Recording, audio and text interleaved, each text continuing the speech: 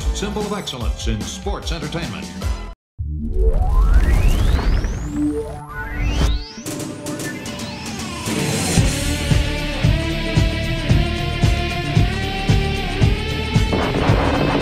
Welcome, everyone, to the debut episode of That Was Extreme, right here exclusively on ad free shows.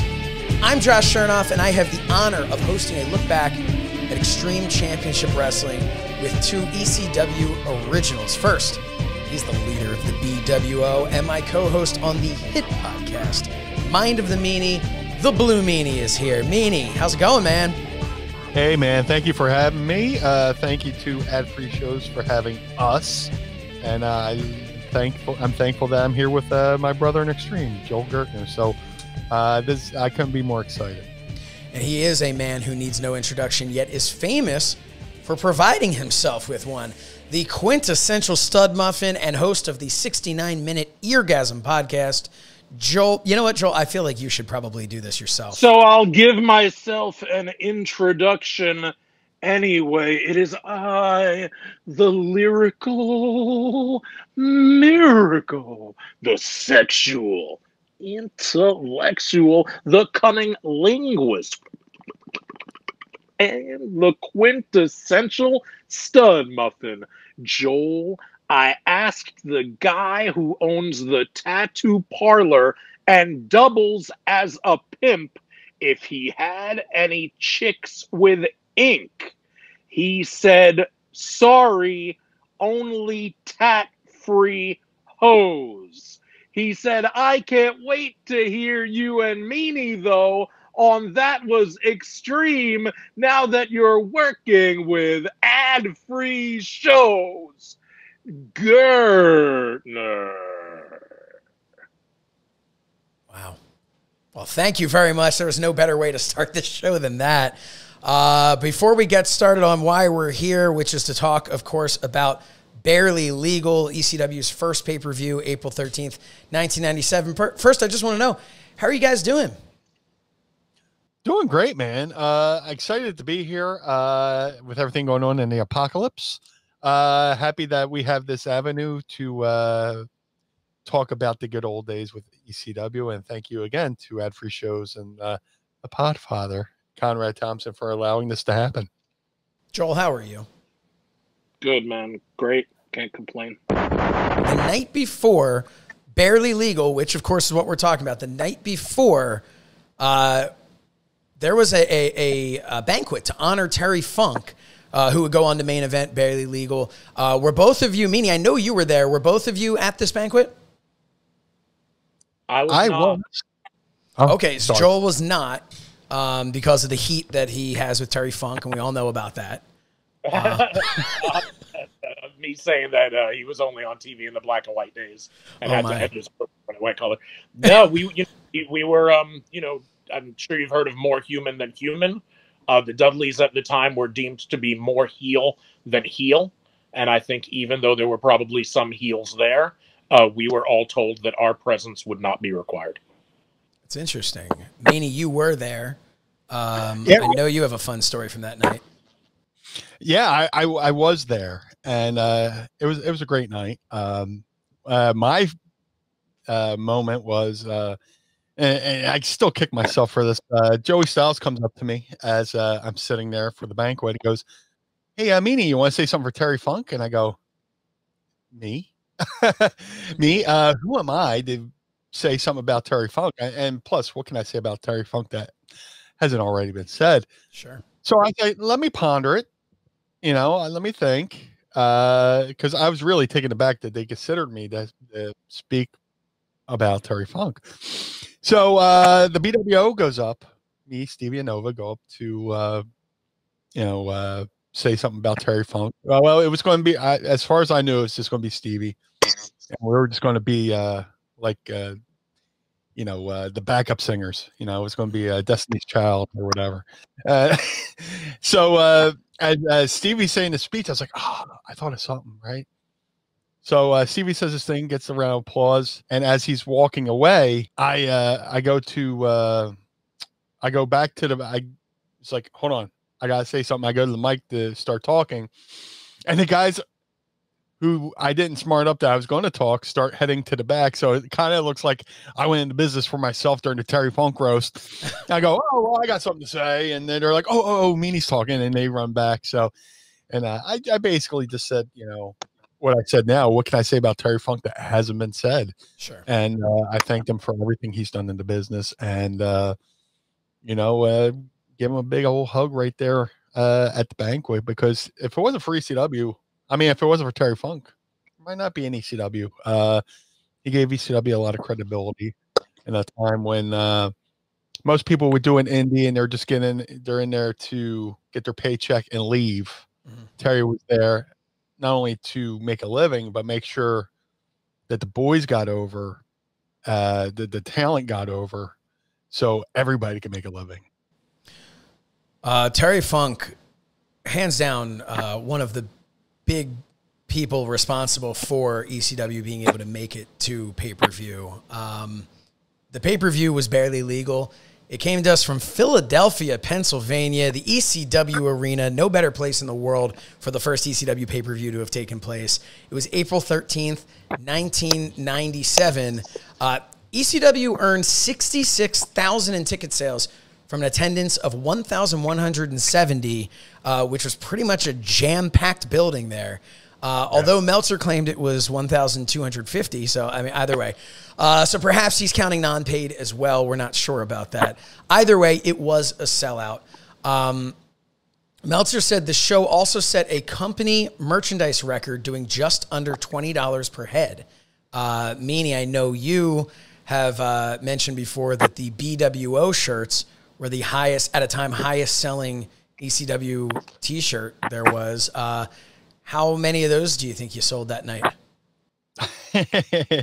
well, uh, when like you work for every company, uh, for any company, uh, the good thing is to make friends with everybody from production to, you know, from the top of the company down to the people who tear the tickets. And uh, I was friends with the uh, the merchandise folks, and I was told on average any night they were selling roughly 200 BWO shirts a night. Wow. So, uh, how many they sold that night, I'm not quite sure, but uh, I was very flattered to see. And that's a beautiful thing about the BWO shirt; it kind of stands out. Where most wrestling shirts are, you know, black.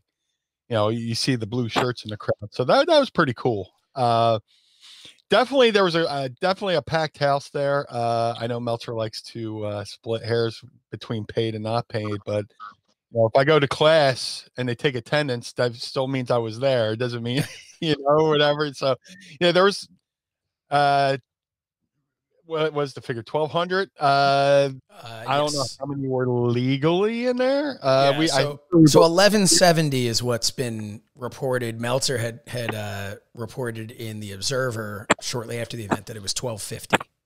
So yeah again, I mean that's really split. I mean that's a difference of 100 people. Um, and you know, like you said, who was there legally? Who who uh, snuck in? We don't really know. Um, but uh, I do want to talk about the pay per view uh, buy rate. You know, nowadays everyone's always talking about ratings. It's a big thing, but the buy rate was at 0.26, which is the equivalent of approximately uh, approximately 104,000 buys. So Meltzer would say when it was over, the show had to be considered a major success aesthetically for ECW. It was far from perfect, and the flaws many talk about with the promotion were more than evident. But when it was over, the strong points overwhelmed the weak points. It also claimed that the estimated total company revenue of 210,000 uh, which with a break-even point of uh, 350 to 400 uh, was due to the limited number of homes available because so many major systems refusing to carry the show. Uh, I said it would be a money loser as uh, for the show itself, but ECW had to guarantee request a certain number of buys to get them to carry the show. So I'm not sure exactly how that worked out, um, but I do want to put in perspective. Barely Legal did 0.26. That same month, WWF had In Your House 14, uh, Revenge of the Taker. That did a 0.5. Uh, and that head, that was headlined by The Undertaker defending the WWF title against Mankind and Bret Hart versus Stone Cold in a number one contenders match. So, I mean, that was pretty much the best WWF had to offer at the time. Uh, WCW had Spring Stampede, which did a 0.58 that month, uh, headlined by DDP versus Randy Savage. Uh, so I would call that a huge success. If I'm looking at the numbers that they're drawing on pay per view in 97 versus what you're drawing that same month, how much talk was there backstage about the buy rate uh, or the tickets sold? Joel, we'll start with you. Um, not as much as you might think. Um, some among people who were interested in that kind of thing, but um, but it, it's not like we would have the numbers posted up uh, next to the lineup on a given night, like you know three days last incident or whatever. Uh, you know, if you knew, knew, and if you didn't know, you didn't necessarily care to know. Right. Um, I think a lot of us maybe were wondering if there were going to be pay per view bonuses because we had all we had always heard that the WWF business model was that once all the money comes in from the cable company for a pay per view to Vince, they go ahead and they invest it for six months in a CD. And once they've gotten some interest on it after the six months, they dispense pay per view bonuses out to the boys. And I think we were curious as to whether that would be the case for us as well or not. But you could probably count the number of people talking about the buy rate itself, the 0.26, maybe on a couple of hands.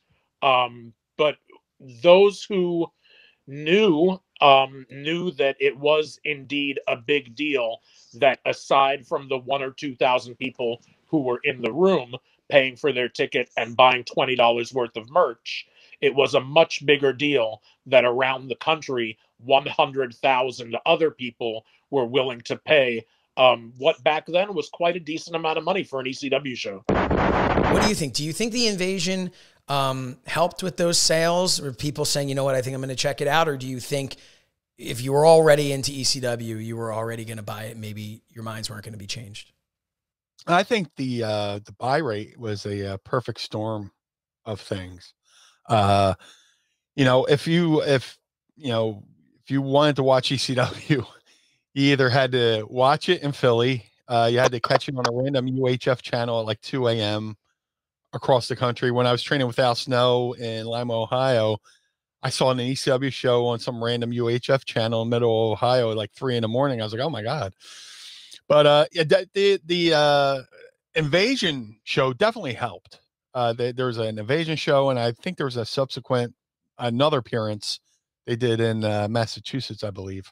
And uh, you know, uh, before they getting back to the uh, the buy rates and stuff like that, uh, Joel uh, triggered a memory to where we had a show in uh, Blackwood, New Jersey, at the Blackwood CYO, and Paul called like a pre-show meeting uh, about potentially doing the pay-per-view and stuff like that, and he broke it down to what Joel said.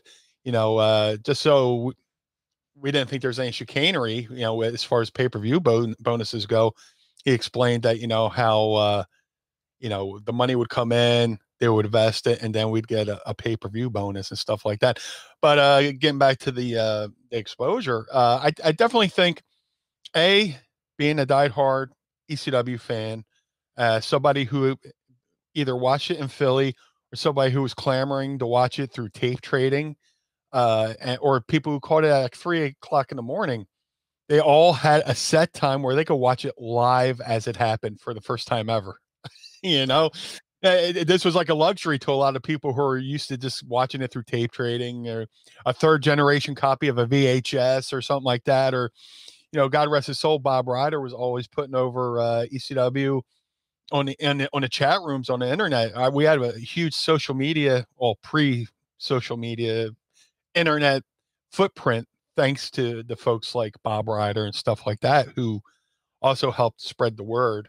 Uh, so there's many factors into you know what went into people you know wanting to buy our pay-per-view and considering that number compared to all these multi-million dollar companies i think we uh, did quite well um wholeheartedly i agree with what Meanie said as far as it being uh you want to call it a loss leader or a write off or you want to call it breaking you know a few eggs to make an omelet but it's super important even at a loss to just get that platform of pay-per-view up and running um because you know at, at the end of the day like Meanie said, you know, people in this market are watching it at 3 a.m.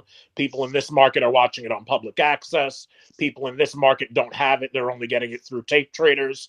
And people wind up on stuff like Prodigy or AOL or CompuServe in the brand new, you know, frontier of the internet in 97. People wind up talking about ECW episodes the way they're talking about comic book issues because Yeah. they're not exposed to it and seeing it at the same time, right? So ECW episode 183, people are talking about it like it's X-Men issue 183. They're all reading it at their leisure whenever they do, and then they're getting together after the fact to discuss. When you have barely legal on pay-per-view, the entire nation is watching it live at the same time. So I think like Meanie said, it was very important for us to have that in front of us. Um, the pay per view paydays are just going to ask it here. Did, did that did that happen? Uh, we we got something.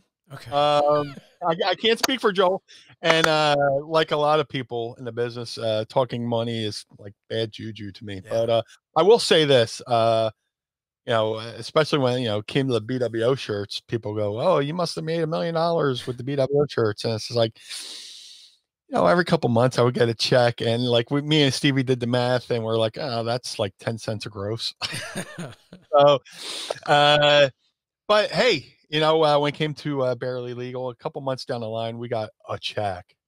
Uh, And the reason I What- bring it up is because Oh, yeah, know, yeah. Paul Heyman is, is fans have a tendency to just buy into the narrative that Paul Heyman never paid anyone, owes everybody money, all that you know. So that's why I always when there's an opportunity, meaning like we know this from Mind Oh, and yeah. Meanie when we do the show. We I, I do like to be able to point out that that's not necessarily across the board true at all times. Paul Um, Paul Ho- Paul Heyman owes me nothing because you know I was I was in, when I got, went to, when I went to ECW I was a year and a half into the business, and uh, there's plenty of t- times where he could have just let me go for man, some of the mistakes I made, you know, but he uh, stuck with me. Uh, he still continued to give me an opportunity. I was in the opening of the TV show week in and week out. So uh, what do you talk when you talk about you know paying? You could talk about a dollar amount, or you could talk about equity. Mhm. He gave me equity equity in the company where I was in the opening of the show. I was in the uh, I was in the uh, Pulp Fiction, you know, montages at the end of the show. He always made sure there was uh, a, a segment for me to be involved. And if it wasn't for him giving me a segment to be involved, nobody would know who I am. I wouldn't be doing this special with you guys right now. And uh, you know, you know, who knows if I ever would have made it to WWE down the line. So uh, when it comes to, I never made a million dollars in this business, but I got paid royally in experience and friendship, like you know the one I have today. So Paul Paul Heyman owes me nothing. Tell us a little bit about the start and stop of this pay per view because it was supposed to happen a decent amount of time before it actually did. Um, and of course, you know, longtime ECW fans remember the mass transit incident. Um, can you tell us, Joel, if you can tell us a little bit about how that came to uh, affect the pay per view? There were a few things that affected the pay per view. Uh, everything from the mass transit incident, which was uh, a, a moment in one of our matches that was exceedingly violent uh, with an untrained professional wrestler who in, involved himself in in our family and our roster and our backstage and kind of misrepresented himself. And there was everything from him you know, wanting to work with New Jack and get over in the worst possible way and open himself up to to all sorts of you know the the very most extreme of ECW, uh, to stuff like us being confused with shoot fighting because there was a company that was challenging UFC at the time that was called EFC Extreme Fighting Championships. So Extreme Championship Wrestling would get confused with Extreme Fighting Championships at a time when MMA was going through a very dark period when it came to exposure because there was a lot of political wrangling about trying to get it banned because it was seen at the time in the mid 90s as human cockfighting. So by some. So uh, yeah i mean th- there were a lot of fits and starts uh, as to um, You know, we could have probably been on pay per view uh, closer to 96, maybe even 95 when wrestling really first started heating up. You know, in uh, September of 95, you've got Nitro. And then I think the Bash at the Beach, where the NWO started, was the summer of '96. There was a lot of wrestling and uh, money in wrestling before the spring of '97, and I'm sure the thought was to get us on pay per view a good year and a half or so before we actually were. But uh, like you say, for one reason or another, uh, it just kind of you know it, wasn't able to get off on, on the ground and, and run. Do you think that that was a, a blessing in disguise? Do you think that maybe you, you wouldn't have been ready as a roster, as a company, had this happen in 96 or uh, especially in 95? I think we were. I mean, the the delay of let's call it a year and a half made us more ready in one sense because it was so long overdue and we felt entitled and we were chomping at the bit. Sure. So in that respect, I guess yes, there are some people. If you ask them what their favorite era of ECW was, and it was you know the company was only around for about nine years so it's weird that there are different eras and a lot of people break it down by their favorite year or whatnot but a lot of people will say creatively we were really firing on all cylinders closer to 95 maybe 96 like i said before which happened to coincide with stuff like the start of nitro the start of the nwo so um you know were we the most ready in early to mid 97. Uh, again, in one or two respects, maybe yes. And looked at a few other ways, maybe we really would have been just as ready uh, a year or so earlier. Um, I look at those eras as kind of like you have your pre pay per view ECW, you have your pay per view ECW, and then you have your uh, TNN ECW. And I think if I had to pick, you know, for me, it really was tail end of the pre pay per view and then into the pay per view. That was in my fandom. Um, but I do I, I, understand what you're saying, and that's part of what got to that pay per view point was the creativity because especially in a time it's well documented uh, on plenty of shows here on adfreeshows.com that uh, 95 wasn't a great year for the WWF. Uh, 94, 95, like that time period really was not maybe its its uh, the the peak of its creativity. Um, obviously, WCW was revving up, and in '96 with the NWO, that's where the whole wrestling business began to explode. Um, Meanie, what with what do you think? Uh, just for you personally, even we'll say, do you think you as a performer and, and your peers would have been ready in '95 or in '96 to go on pay per view? Uh, ironically enough, uh, I, I think there was a meeting. Uh, I talked about the one meeting at the, the CYO. That's when the pay per view had already been announced, and he was breaking, you know, preparing us for the pay structure and stuff like that.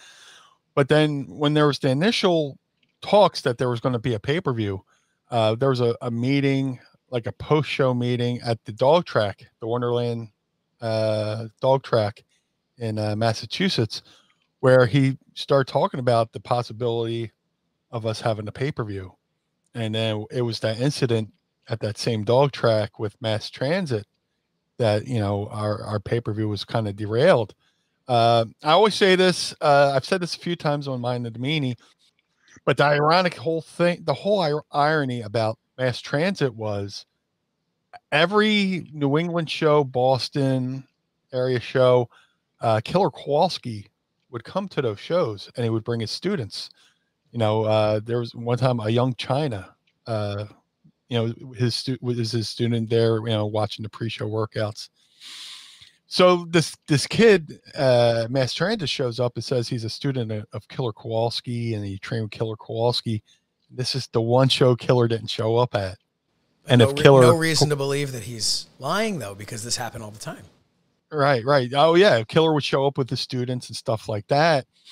So the one time Killer Kowalski doesn't show up, this kid shows up and goes, "Hey, I was trained by Killer Kowalski. If Killer Kowalski had been there, he could have said, "Oh, this is bullshit," you know, and know things could have been averted. But um, you know, getting back to the pay per view, uh, were we ready? Um, I think in a sense we were as ready as we never were. Uh, you know, a handful of us did the uh, ECW evasion angle and Raw, uh, but the company as a whole, uh, we were just uh, we, we, we were running on all cylinders in '96. That to me, that was our our hottest year. Uh, from a storyline stand standpoint and all that good stuff. But then again, you also have you know stuff like the the uh, mass transit issue where uh, I believe it was a, a, Wade Keller who reached out to the uh, the head of the pay per view and brought up yeah. this uh, our Kulas incident, which initially got us derailed. But thankfully, uh, our fan base, aka uh, the head of our fan base, Tony Lewis, who was a part of the crew Strictly CW with uh, Chris Woodward, uh, Mike Johnson, and a whole slew of other characters, uh, got us back on track. Uh, they reached out and they uh, did a le- letter writing campaign. They did calling. They did email, and they pestered the living hell out of the cable company until he put us back on track. It is what it is. I mean, we we I think we did great by 97 you know doing in 97 storyline wise we, we had some really good stuff going on in 96 uh, where were you ready? Again like i said we were as ready as we never were because you know we did the evasion angle but we never did live tv all our stuff was taped to uh, edit you know everything was done in post and that was. Our TV shows were basically the sizzle reel to advertise for our home videos, buy our home videos, come to the live event, stuff like that. You know, people think ECW was just nothing but blood and guts and all that stuff, but we had some good wrestling on the shows. But we just showed all the other stuff to make you buy the home video and come to the live events. So, speaking of the live event, uh, let's get started with this. The uh, the event began to the live audience with two dark matches. The first one being Louie Spicolli uh, pinning Balls Mahoney at the five minute mark. How important was that match for that crowd on that night, Joel? Um, to kick off, I, sh- I should say to kick off the show. How important uh, was it to really kick off the show, um, and and to put those two in that spot?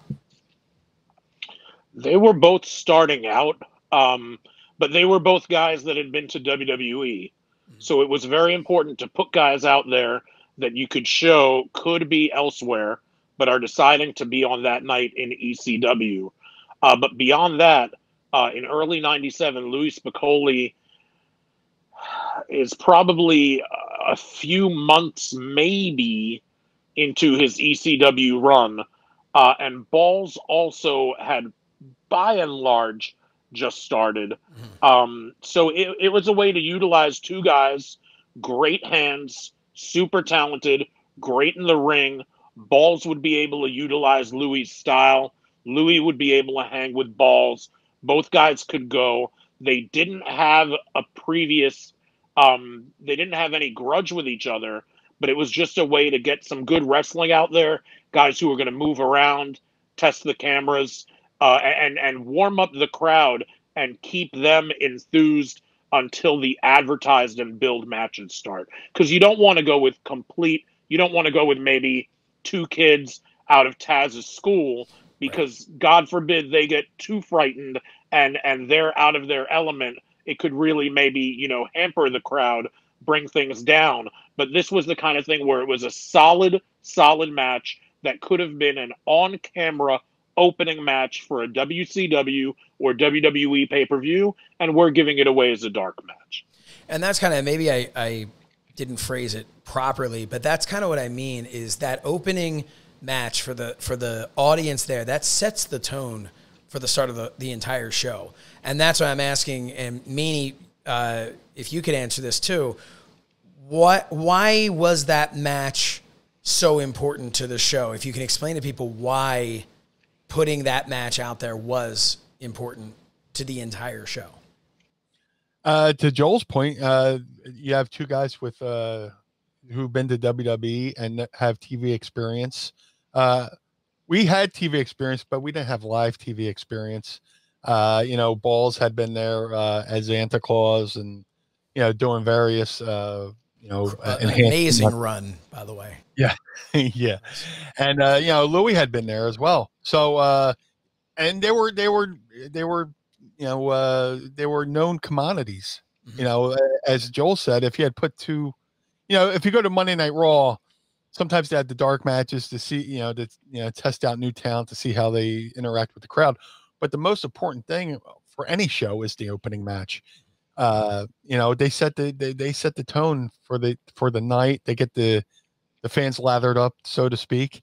And then, uh, you know, once, you know, the camera gets rolling, the fans have a little, you know, a few belts in them, you know, because that crowd didn't need, uh, our, our front crowd was so rowdy. They didn't really need much prying. They had been waiting for this moment forever, just like the wrestlers in the ring. Uh, everybody felt how special this show was. So when uh, it came to, you know, having a couple dark matches, the, you know, to set the cameras and you know all that stuff, but I also set the mood in the building for a, a fan base that had been. I mean, they would have the, the, our ECW fans at these ECW arena shows would be at the building at 9 a.m. waiting to get into the show. So now you add in the element of live TV, pay per view. This means the company's growing a little bit. The company's going to do a little bit better.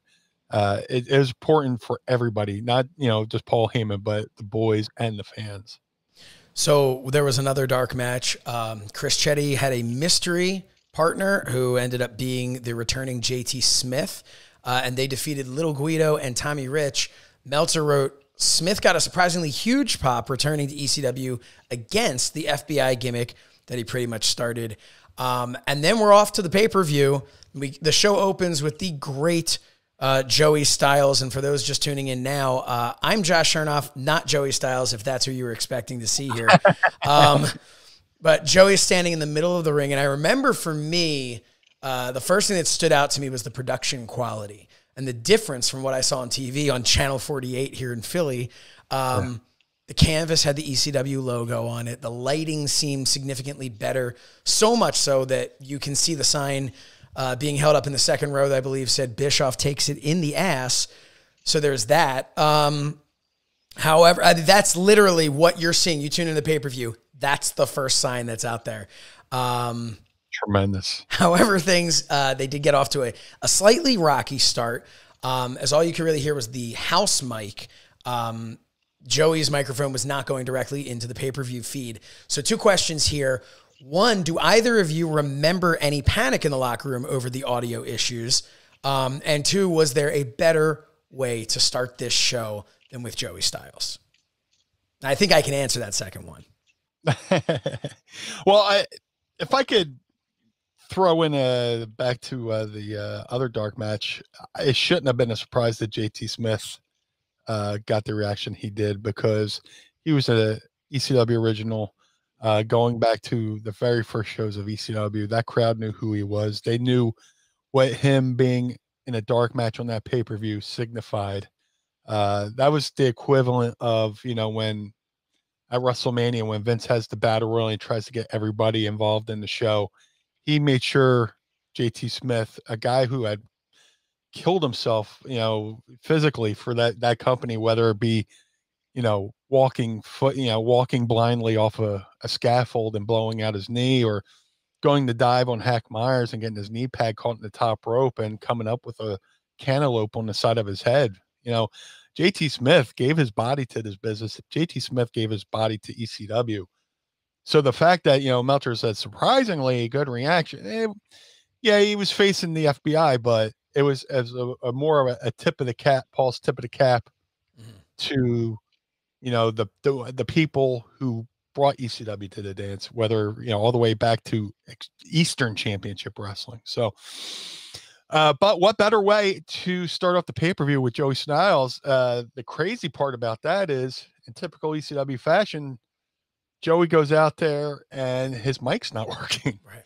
And uh, you know, he's hitting it, hitting it, you know, hello, hello, hello.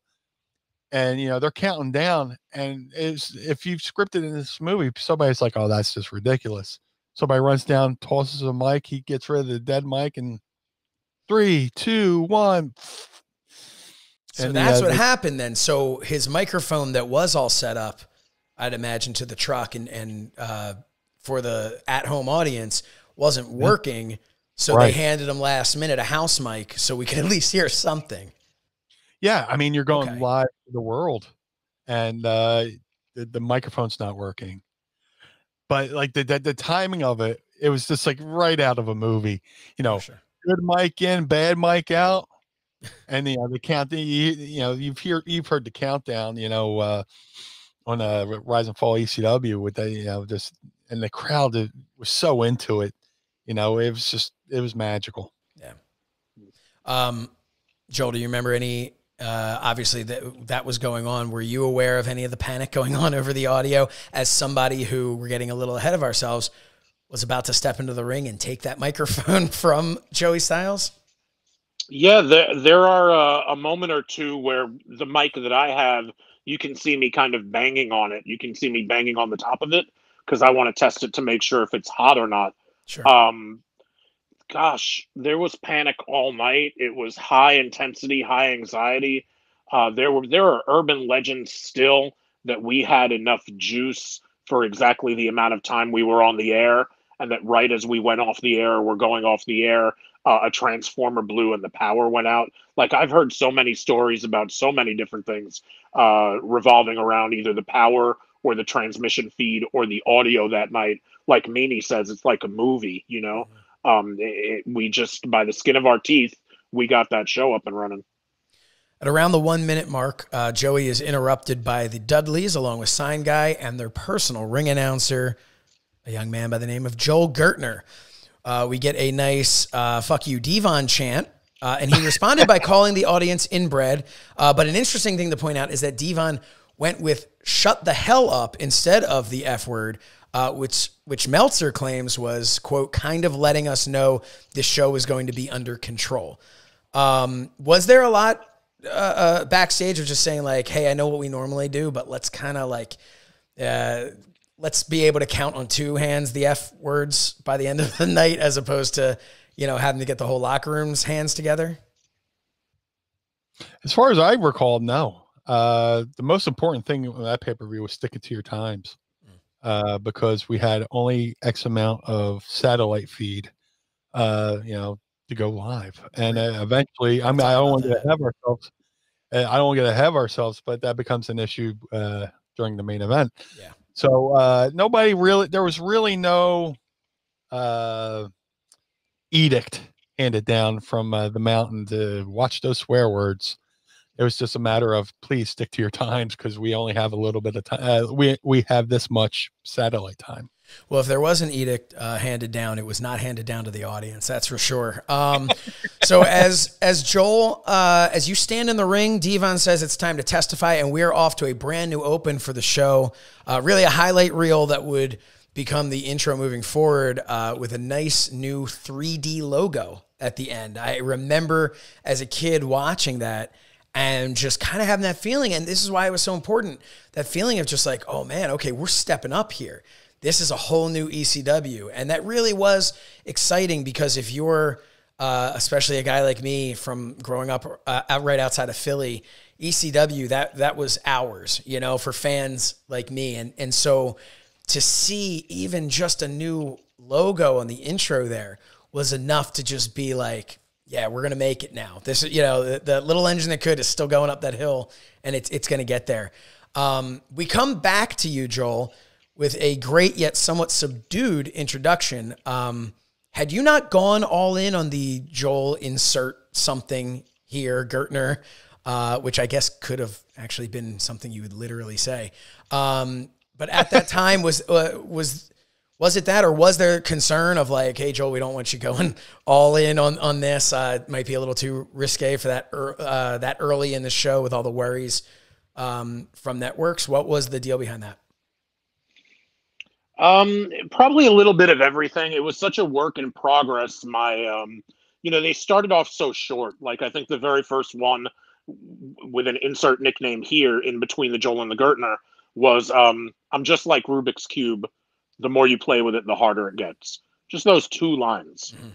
And eventually, you know, a couple of years later, by '99, it turns into like four stanzas of four. Yeah. You know what I mean? like it turns into like a minute or two long thing but it used to just be more of a nickname Um, but yeah, as I was watching this to remind myself, you're right. There was no nickname at all for this one. And I'm not sure whether it was more for time or more for the stuff that I put in before my name was more important mm-hmm. thematically because it played upon us proclaiming once again that we were the greatest tag team in the world today. That match with the Eliminators was for more than just the tag team titles. It was for what the tag team titles represented, but it wound up almost being like a second prize, a reminder of what the first prize is that the winner of this match would be the best tag team in the world today because that was their gimmick Right. to in all of their promos about themselves even when they weren't holding the title claim that they should be because they were pound for pound and for all intents and purposes the best tag team in the world today so it was my job to to try to take that when they don't have the titles even to try to take their moniker from them and i think psychologically it could have been that but again it could have been for content because other people were going to drop f bombs and sex references. It could have been for time. Uh, it was probably a little bit of all of it. Everything we did, th- there was always somehow order amongst the chaos and reason amongst the disorder.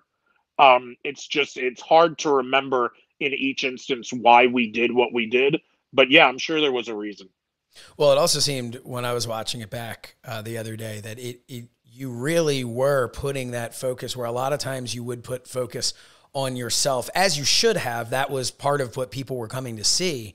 Um, on this night, it did feel very much like you were putting that focus on the match. It was much more about really putting over the Dudleys and really kind of putting over what this was all about. This match, as you just mentioned before. Um, Meltzer says, and this is something I want to ask you about. Um, Joel Gertner did the ring introductions for this match doing his heel gimmick, which is actually mimicking how Michael Buffer announces, minus the trademark let's get ready to rumble phrase that Buffer will and has sued others over using. Joel, is that true? Were you a Michael Buffer knockoff?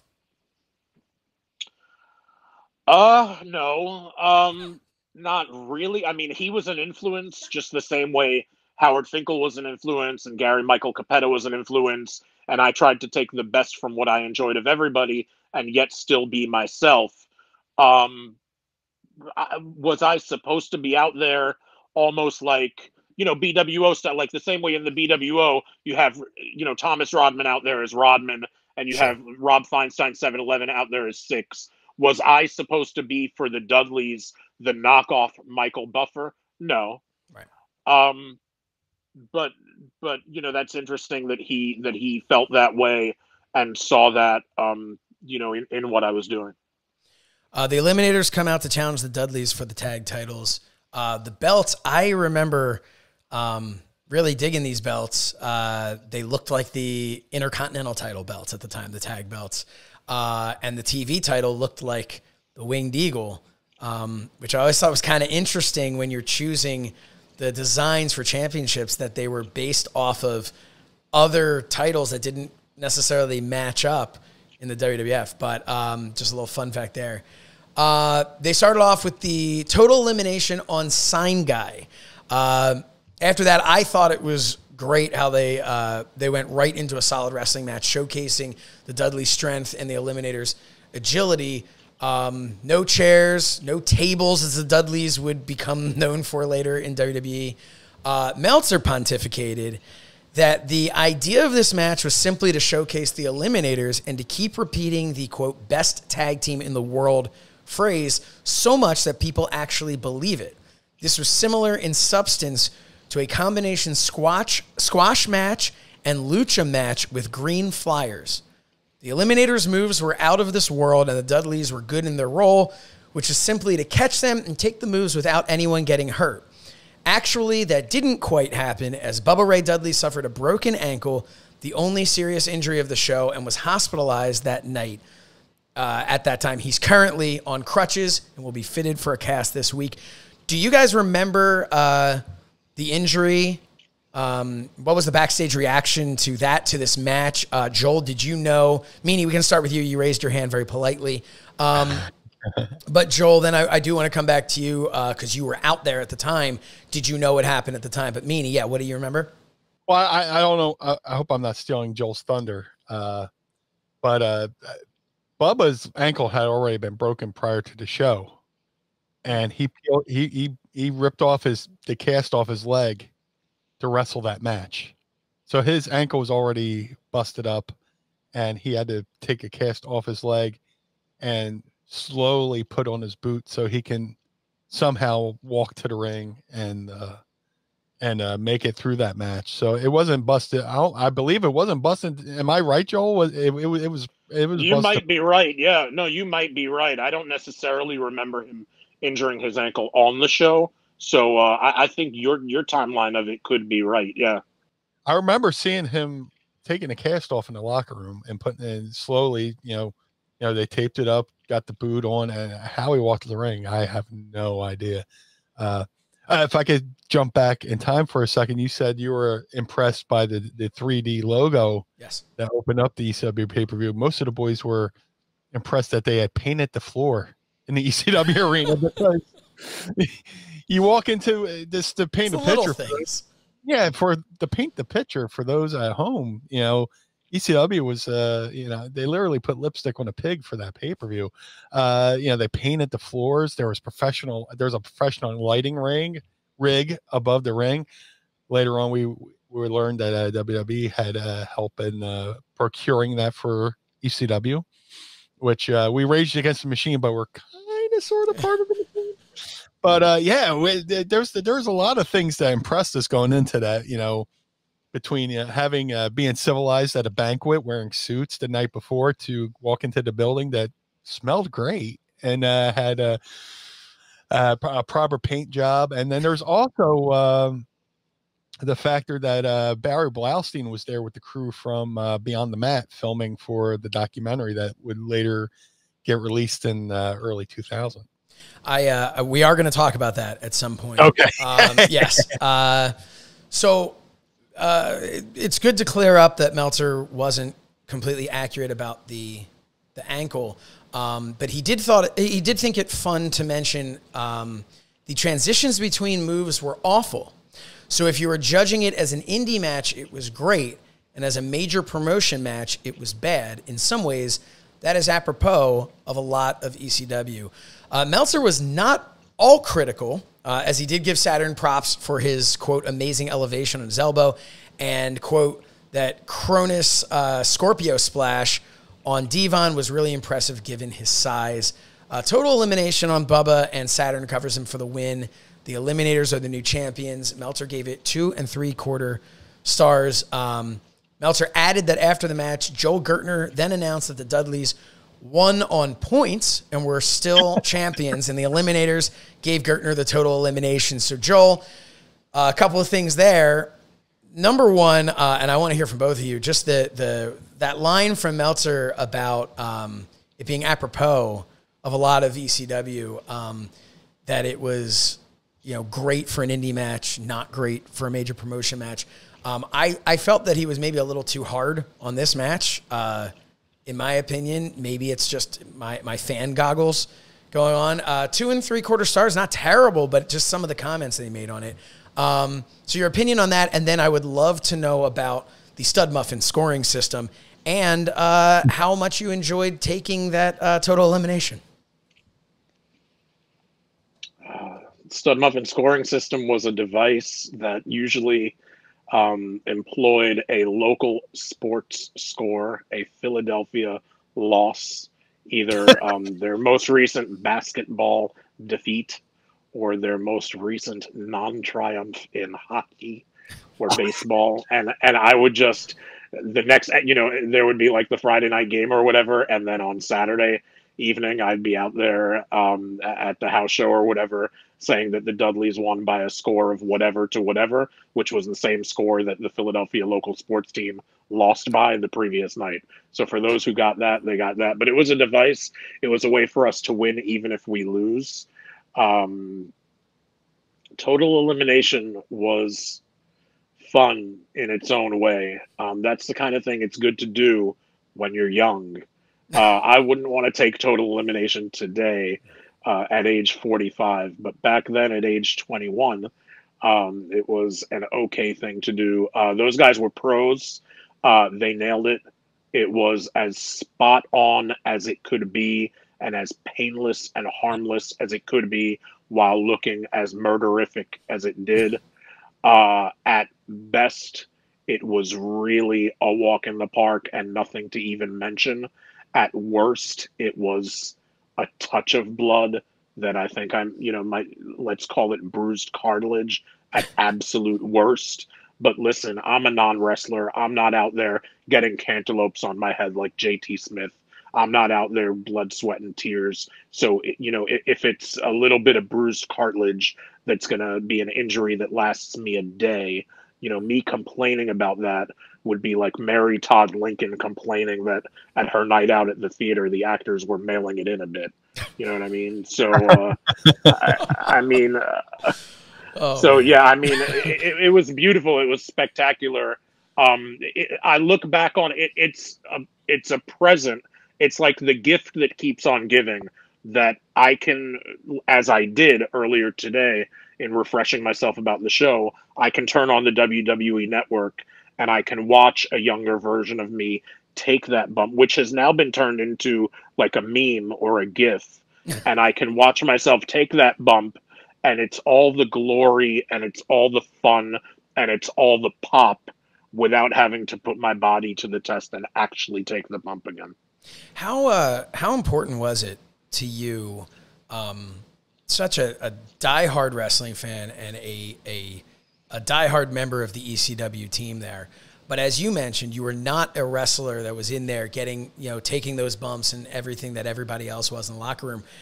Was it important to you to have an opportunity like that to say, hey, on this big stage, the biggest stage ECW's ever had, um, I'm with you guys. I know I'm not, I'm not, you know, in the ring putting on a match, but you want to hit me with something, hit me with something. I'm willing to do what I need to do to give as much as I can in my role to this company. Yeah, getting physical was a badge of honor for me. I wasn't fully trained as a wrestler. I'd probably gone to wrestling school and taken two classes, maybe one on a back bump and one on running the ropes. And that was the extent of it. All of the other training that I got was on the job from the boys, with the boys, telling me, tuck your head, protect your neck. This is how you're going to take this. This is what you want to think about when you're out there. This is what you don't need to worry about. I got you. And I'm taking Taz plexes and I'm taking moonsaults that feel like a pillow fight from Big Dick Dudley. And I'm taking, I, I, by one time, probably by later in 97, after I'd been a heel for a year, I'd taken every heel's finish. Then in 97, 98, whenever it is, I'm taking Balls Mahoney chair shots and New Jack chair shots and New Jack tables and it was a badge of honor, even though I never got an offensive move in there until, for whatever reason, they programmed me. I, I worked with Cyrus. I worked with Meanie. Uh, those those are the two names I remember best working against is Cyrus and Meanie, and I never got a punch or a kick or anything in. Um, you know, a couple years earlier when I was a heel manager, not in a wrestling match, and but that was a badge of honor for me to be that kind of crash test dummy. Where if I couldn't get out there and chain wrestle, if I couldn't get out there and, and provide in between the ropes, bell to bell, two star, three star, four star, what I was at least able to do is take everybody's finish when it was psychologically important to do so that it made for a better show. If I can add to uh, that, Joel, uh, uh, you didn't have any offers, but there, there, you did one spectacular thing that I'm surprised doesn't get played more often. Is uh, there was a show in Allentown Pennsylvania, and you broke a plane, a pane of glass over Perry Saturn's head. You took you, there's like a, a, a giant like window pane of glass, and you just and it was like one of the most spectacular things I ever seen. And and all the replays in ECW history, I'm surprised that one wasn't played over and over again because that was like a legit pane of glass that you got him with, and uh, he took it like a champ. Yeah, yeah. Um, you could fill books with the stuff that either happened, just stuff that kind of didn't make it off the cutting room floor, like Meanie's talking about stuff that for whatever reason wasn't featured.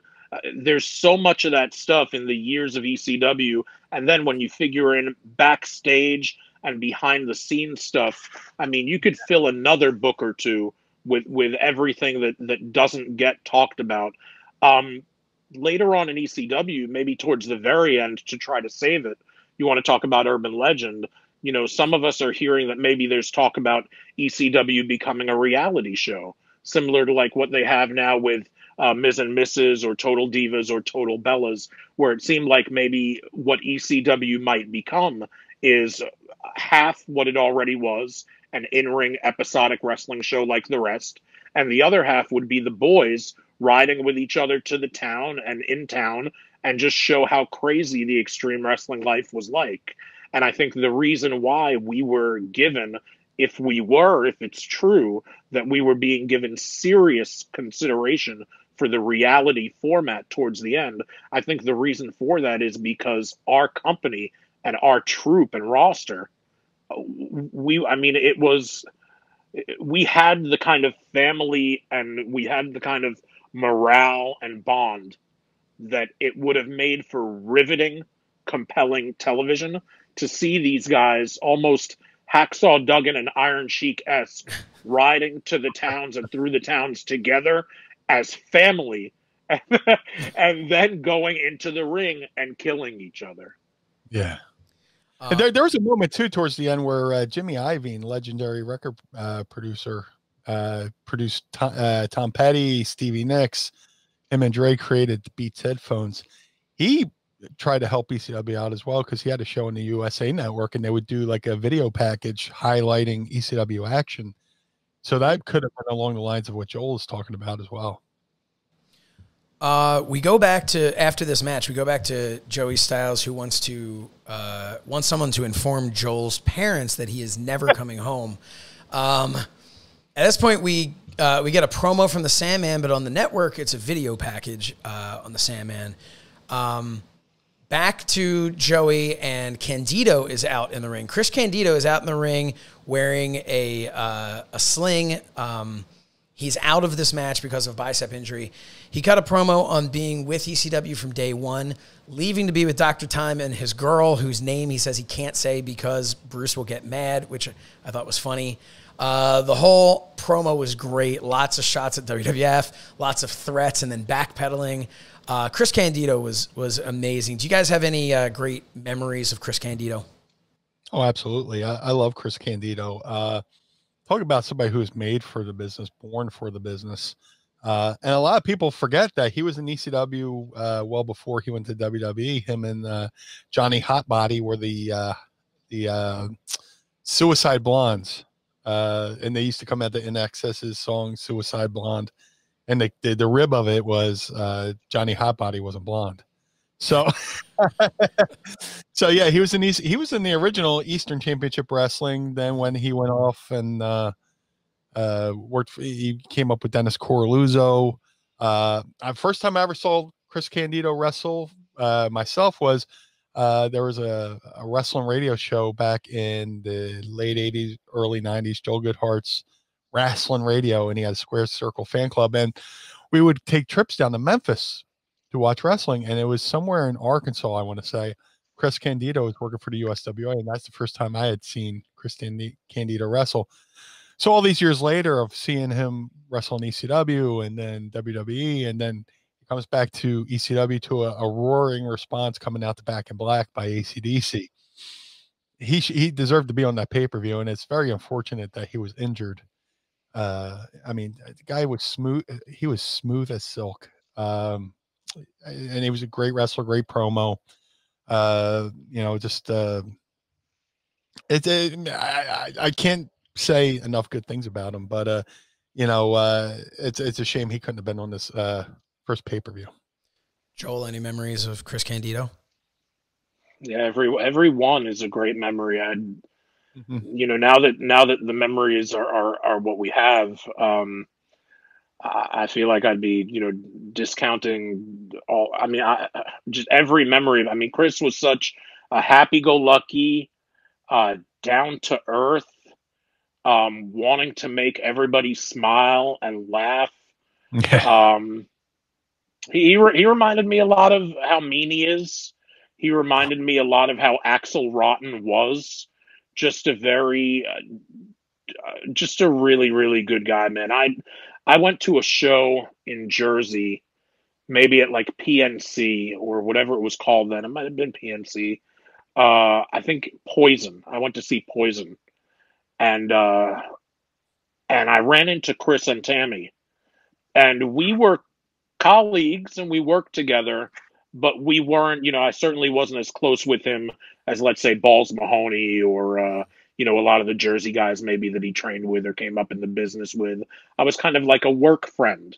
We had never really hung out away from ECW, and he saw me there and he invited me to. He had a badge, he had a laminate. Um, he invited me to come hang out in VIP with him, and then to not have to go home late that night on the train or however it was that I got from New York to Jersey, he offered me to stay at their place and uh, and opened his home up to me. Just, I mean, um, an unbelievable guy, and I can't choose. But I mean, I guess I just kind of did. That came to mind, but um, hard to choose between memories of him because just a really, really good human being. Well, as we mentioned, uh, he was unfortunately injured. Um, but next up is the match. His uh, replacement, young guy by the name of Rob Van Dam, who pinned Lance Storm and his bleached rat tail uh, with the Van Daminator and a standing moonsault at uh, 10 minutes and 10 seconds. After the bout, RVD refused to shake Storm's hand and then cut an in ring promo implying that he was going to jump to WCW. Um, in the match, Van Dam slipped on the rope. He did cover it up um, and still hit his back elbow, uh, and Styles covered it uh, on commentary. But it was the first pay per view appearance, I believe, of the "You fucked up" chant. Um, what did what did everybody? Meaning, I'll go to you on this. Um, not suggesting that you received that chant a lot, but what was backstage? What did the boys think about um, the "You fucked up" chant? Just straight up calling them on their shit in the middle of a match. So, yeah, uh, I, I, had a, unique perspective of that. Like uh, before I got into the business, I was a fan of ECW. I was in the in the crowd for ECW, and I was one of those fans chanting "You fucked up." Yeah. Now here I am on the other side of the barricade, so to speak, and uh, you know, fortunately for me, uh, I never had "You fucked up" chanted at me. So, uh, but uh, it's for not, a lot of not the in the ring at least. not in the Um, ring. No. Uh, so Back at the travelodge. Oh. Uh, the cylinder of sin. Um, yeah, that that whole building needed a condom put over it. Uh, it was shaped for it. Uh, Van Dam was just starting the Mr. Monday Night shtick. Uh, ECW is known for having smarter fans, uh, for lack of a better term, uh, more aware of inside workings, maybe. But they really bought into the whole uh, Van Dam is going to leave thing. Um, they're not the only ones, and we'll we'll talk more about Meltzer in a minute. But did the boys ever worry that they were being worked into a shoot, for lack of a, a, a better term, using some terminology there? Did they ever worry about that? Did they worry, oh, Van Dam's just doing this whole like Mr. Monday Night gimmick thing? Uh, but was there talk like, dude, this guy's just getting this whole thing over and he's going to show up on Nitro on Monday? Or did everyone, or was everyone just like Van Dam's here? He's, you know, Um, I- You, you go ahead, bro. you sure? No, please, please, please. Pretty please. I, What no, I was-? I was just gonna say that. I was just gonna say that. Um, in this specific case, no, I don't think anybody was worried um, that it was a shoot uh, or that he was going to Nitro or anything like that in this specific case. Uh, and then almost in every case, um, y- even when it would have been worth worrying about, you're never worried about work shoot angles at that time in the mid to late 90s because they were the nature of the beast. What are you going to do? Go to wcw where you're just the boys are getting worked and you know what i mean? And on top of it morale's terrible and whatnot. I mean you know if there's going to be something happening that's kind of shrouded or mysterious or do we have a partnership with this? Are we affiliated or working with that is there really a mole? Tod Gordon, this, blah, blah, blah, invasion, that.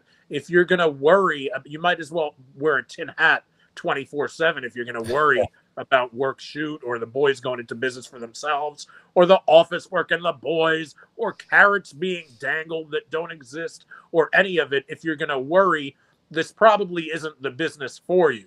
If it is the business for you, this is the company for you because there is the least of it in ECW hmm. that you do have to worry about. And with Van Dam, I think that falls into that category. I don't because he was getting the WWF exposure, because he was on ECW and Raw at the same time. While of course WCW may have courted him, wanted him, made him an offer, I don't think people were concerned that he might leave.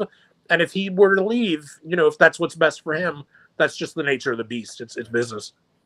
Uh, Meltzer's take on the match between Van Dam and Lance Storm was that it was, quote, another move fest. Fans chanted, You sold out at Van Dam since he's believed to be WCW bound. They are working an angle off that until he leaves. Um, I guess plans change. But Meltzer pointed out that Van Dam threw photographer Bill Apter out of the way, which I found amusing.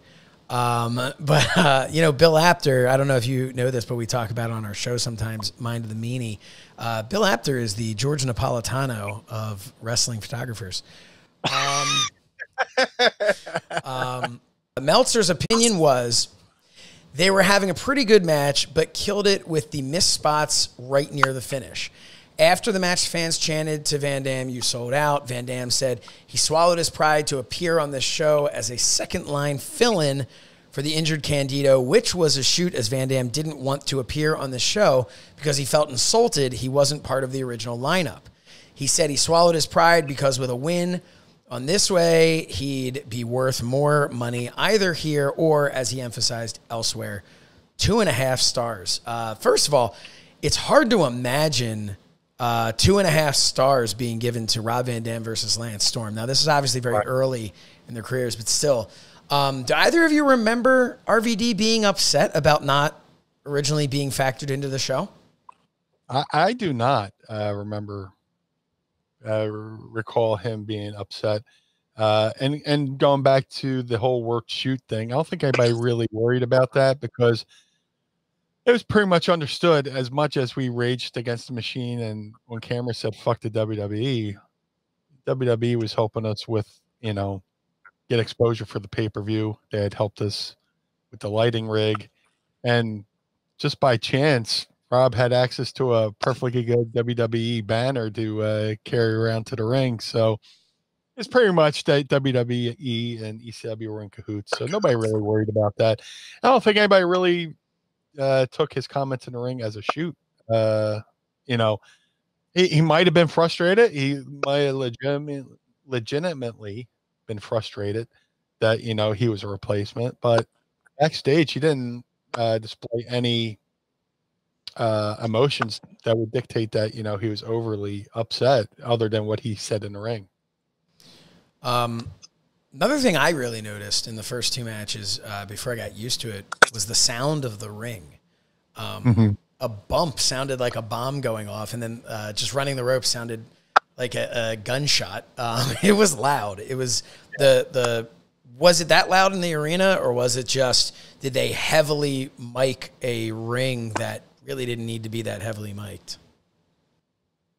I believe it was a uh, twofold that you know we had a brand new ring, and yeah, they probably mic'd it. Just uh, you know, once you you start working with uh, you know production and outside sources and outside powers to be.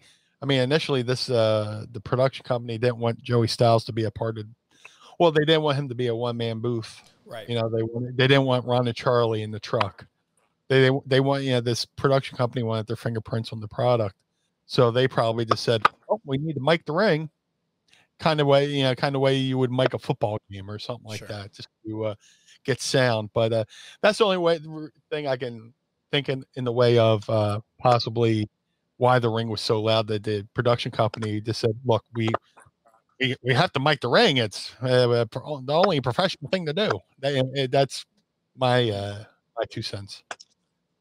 Um, next up, Joey Styles puts over Michinoku Pro in the upcoming match. Um, it was the Great Sasuke, Gran Hamada, and Gran Naniwa. Uh, I'm so sorry to fans of these people. Uh, they defeated Taka Michinoku, Men's Teioh, and Dick Togo. Um, Dick Togo. As, as Taz would uh, announce him uh, to the locker room. uh, at 1656 when Sasuke pinned Michinoku with a dragon suplex. Uh, Hey, waiter, I'll get to go. Did you say dick to go? Yeah. That Well, sounds like dick a to- homosexual Uber Eats. Not that there's anything wrong with that. Yeah. Dick to go. Oh God. Um. So Michinoku's team. I'm sorry. What was that? no, no. no. Okay. that was meant to be said under something. Um, Michinoku's team wore BWO t-shirts for the duration of the bout. Uh, before we get into Meltzer's unbiased take on this match, um, And which I'm dancing. Uh, Meanie, how did the BWO Japan come about? And uh, are you still able to get those BWO Japan shirts at prowrestlingtees.com slash Blue Oh yeah. Uh, wink, wink. Uh, the BWO Japan came about because, you know, BWO being a parody of the New World Order, uh, and uh, WCW having a relationship with New Japan, it only seemed logical for, you know, the BWO to have allies in Japan as well with uh, Michinoku Pro. The Michinoku Pro guys were awesome, awesome guys. Uh, they did a, a bunch of shows around the loop, and then uh, that's when the uh, the thought came in. Hey, why don't we have them be BWO Japan? Be they could be our international representatives, just like you know uh, NWO had, you know, uh, all the New Japan guys be a part of Chono, NWO. another- yeah. Chono, Muta, my favorite. Uh, yeah, so that that only seemed like the natural evolution of uh, them joining. Uh, we did promos uh, at the uh, the the raw uh, at the uh, the dog track in uh, Revere, Massachusetts, where uh, you know we were live via satellite, and they were in the uh, in the arena in, in Japan, and uh, we happened to barge in and uh, indoctrinate them into the BWO. So uh and they were so cool about it that even after this pay-per-view and there really wasn't a relationship between Michinoku Pro and ECW anymore, they still carried on the BWO Japan over in Japan for for a couple of years. Uh, Meltzer, not surprisingly, loved this match. Um, calling it Shocker. quote, yeah, calling it quote the second best pay per view match thus far in 1997. Uh, this is the typical nightly main event match for the Michinoku Pro Wrestling promotion, which promotes mainly small towns in the northeastern in northeastern Japan. Joey Styles compared it to a Japanese version of ECW, and it is similar in that both started in '93 and both have cult followings, and both generally use smaller performers than the major companies in their respective country. The heel trio came in wearing Blue World Order Japan t shirts, which they've been wearing for the past two months on their cards in Japan as well. The heel group is known in Japan as Kaientai, and these guys can really work. Fans threw streamers into the ring as a sign of respect for the guys, and Sasuke in particular got a nice reaction. Yakushiji, my apologies, subbed for an injured Grand Naniwa. I'm embarrassing myself, and was actually better than Naniwa uh, would have been, although some fans chanted Power Ranger at him. Um, one thing that I caught was Joey Styles mentioning possible jet lag uh, for Sasuke saying he wrestled Jushin Thunder Liger the night before in front of 50,000 people in the Tokyo Dome. Uh, Meltzer was obviously and biasedly complimentary of this match, uh, whereas he was a little stiffer on the homegrown ECW guys. But do you guys think, and Joel, we'll start with you, do you think it was fair to say that this group may have been the more experienced in big match situations or no? Um, perhaps, perhaps you have guys that have worked. Uh, anybody who's worked the Tokyo Dome has worked a room much larger than the ECW arena, um, much larger than where we topped out at. You know, we probably topped out at around six thousand paid, seven thousand in the room, and uh, and in Japan, um, you know, they they may have very well been on bigger shows. Um, so yeah, a lot of those guys had a lot of experience, and uh, I think it was a great way to get a different kind of style and a different kind of flavor onto the show.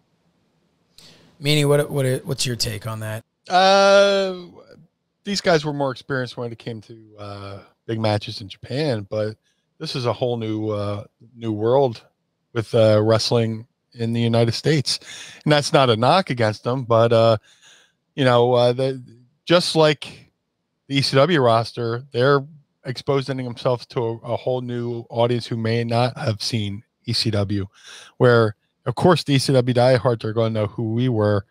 Uh, the ECW diehards were going to know who uh, the the you know the uh, Kaientai folks uh, were going to be. Uh, there's going to be the uh, the casual fan that we were hoping to get to expose ourselves to, you know, in the ring. Uh, yeah. but, uh, casual fans walking around outside the ECW arena that you're hoping to expose yourselves to. Um, yeah. Yeah. Uh, yeah. The Michinoku guys, uh, uh, this was brand new to them, just the way it would have been brand new for one of us to go over to maybe work at Michinoku Pro, sure, uh, and stuff like that. But uh, I mean, we had a lot of guys on our, our on our on our roster who had been in you know WWE, WCW. That's why we're the uh, land of misfit toys. We were part some of the talent that you know, uh, not myself specifically, but other people who had been talent that other companies didn't want. So, you know, uh, it's just a matter of uh, opinion, uh, so to speak. Uh, those guys were probably just as nervous as we were because it was live television in the United States in front of a lot of people who may or may not have known who we were. Uh, Sasuke finished the match with a tiger suplex on Taka. The fans gave them all a standing ovation. A, a deep and sensual four and a half stars from Meltzer. Uh, I mean, this was hands down a fantastic match. Um, oh, don't get me wrong. Yeah, ECW was known for introducing so many different international styles to American fans. Um, what was the reaction in the back to A, the match itself, but B, this match of non full time ECW stars taking a spot? I mean, you have Balls Mahoney, Louie Spicolli, uh, Little Guido, all these mainstays on the pre show. We talked about whether or not Van Dam was, uh, was upset or not uh, about not originally being factored in here. Um, was there resentment from any of the boys uh, about this that either of you saw? Meanie, we'll start with you. Nah, not that not, not that I was aware of. Nobody said anything outwardly or anything because these guys had already. It's not like they just flew in that day and left.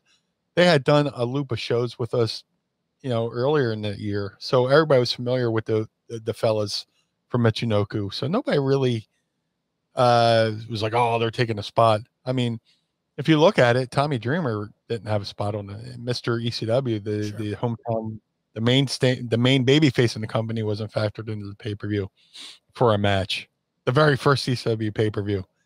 So if if Tommy Dreamer didn't have a problem with it, then nobody nobody else in the locker room really said anything and was worried about them taking somebody's spot. It just it just made us look bigger because we had that international flavor in my opinion. Next up, they aired a pre-tape with Stevie Richards. It was uh, very well done and showed a different side of him than I think we'd really ever seen at this point.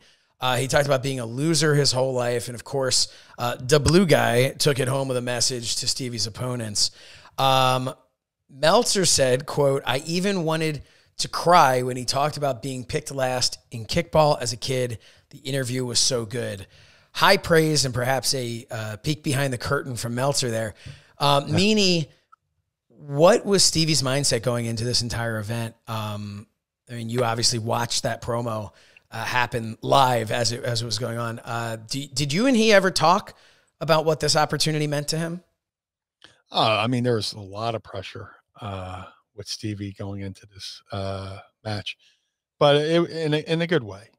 Um, you know, he was leading up to this, Stevie had been the lackey, you know, the flunky, and you know, me being a lackey to a lackey, you know, I I, I came along for the ride, and uh, you know, a lot of you know, Stevie went through a lot in ECW, whether it be in the ring or behind the scenes. Uh, back then, you know, when uh, Raven was uh, grooming him, and, and myself and Nova, he could be, you know, uh, not a taskmaster, a taskmaster, but he could be a little rough on you to make sure. Mean, if you're going to work with them, that you know you knew your thing. So Stevie went through a lot of things physically in ECW. He went through a lot of things emotionally in ECW. Uh, but it, in the end, it all made him stronger, and he deservingly so was put into the spotlight. And I think it was uh, an avenue like the Blue World Order that helped Stevie break away from uh, Ra- Raven's grasps, so to speak, to the point where uh, here he is in the semi-main event of uh, the pay-per-view, leading into uh, hopefully winning and getting a shot at the world title. But I mean, uh, you really call it main main event A. You know, Yeah. like it, it was a little was inside part of it. baseball. I'm sorry. I'm sorry. no, uh, a little no inside baseball into that promo. Uh, we filmed that at the uh, airport uh, Marriott right there, uh, where a lot of a lot of the boys were staying. Uh, I forgot whose room that was, but uh, it was a hotel room at the airport Marriott, and th- that was just one take, uh, as far as I can remember. Because I mean, it was some of the best promos are the ones that are real life, and uh, Stevie really didn't have to uh, research that one, so to speak. He he spoke from the heart, being picked last at kickball or having somebody to take to the prom and stuff like that. That was like real life shit he was talking about. And uh little, you know, we were in uh, the hotel room at the Marriott, and that was filmed in the bathroom, and I I had to stand inside a shower behind the curtain. Uh, a lot of people don't know that. I just like peek my head around, but like it's literally being filmed into a mirror uh, at Stevie, and I'm I pop out over his shoulder, and uh, we talk about the three way dance, and Stevie's going to lead. Uh, that was very powerful. Uh, uh, like I said, some of the best promos are the ones that are based in real life, and you felt that one. Um, was there any sign of uh, severe nervousness or fear from Stevie spending that much time with you, meaning in the bathroom? yeah, it was a lot of you know, just- you know this. Dear Uh, God. it's in- um, up. Let Pick number three, man. Yeah. some, some of Meanie's some of Meanie's farts should come with license plate numbers.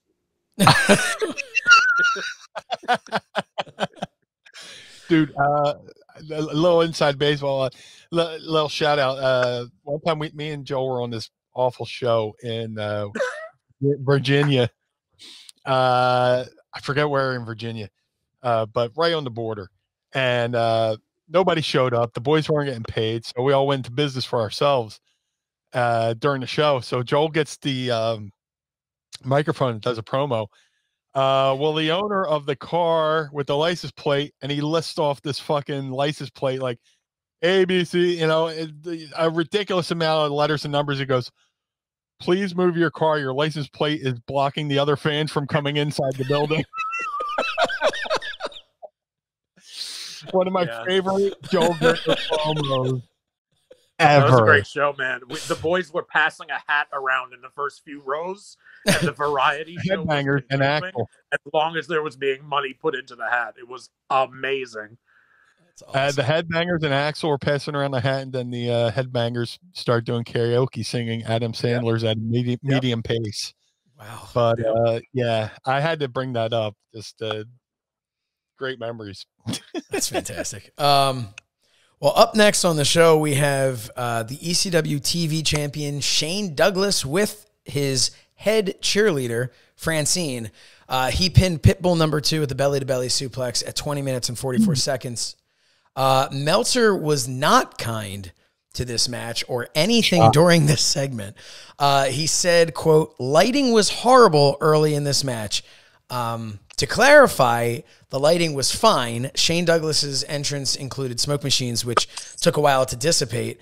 Um, but hey, he also added that, quote, Douglas did a pre match promo talking about going to Cartoon Land and saying he calls out guys from other promotions who don't have the balls to answer his challenge. Uh, Meltzer acknowledges that even though they weren't called out by name on this show, Shane was talking about Shawn Michaels and Ric Flair, who Dave mentions could put on a better match than this one, quote, blindfolded with a crippling fever. Uh, the match wasn't going to win any awards, but the story leading into it was great. The story with Pitbull Gary Wolf uh, was real and intense, and Shane's promo I thought was great. Uh, Meltzer acknowledged that the guys worked hard but suggested that maybe the match went too long, and he may not have been wrong on that. Uh, Meltzer gave the match three quarters of a star, which I thought was way too stiff. Um, the match yeah. told a story and furthered the Gary Wolf angle, and of course the Masked Man angle, which saw the Masked Man appear wearing Rick Ro- Rick Rude's uh, trademark robe. He came in and kissed Francine, did the hip gyrations and all until Douglas attacked him from behind. At that point, one of Douglas's riot guards wearing a motorcycle helmet climbed in the ring, took off the helmet, revealed himself to be Rick Rude.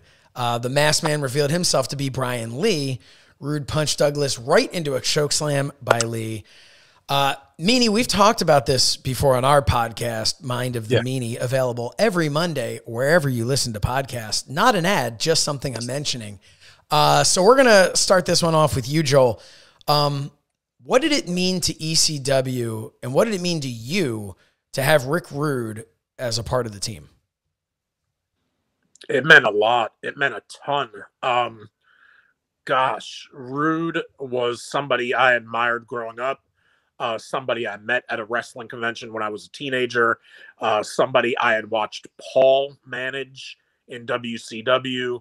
Um, Bobby Heenan in WWF. Just uh, I, had been following his career since Texas, and uh, it, it, meant a whole lot to have both of them there with us. Uh, every bit of exposure and validity, and um, just every bit of uh, acknowledgement that we were at that level, not just the alternative, but in the big three. Just like back in the 80s, you had WWF and NWA, and then AWA wasn't so much looked at as an alternative.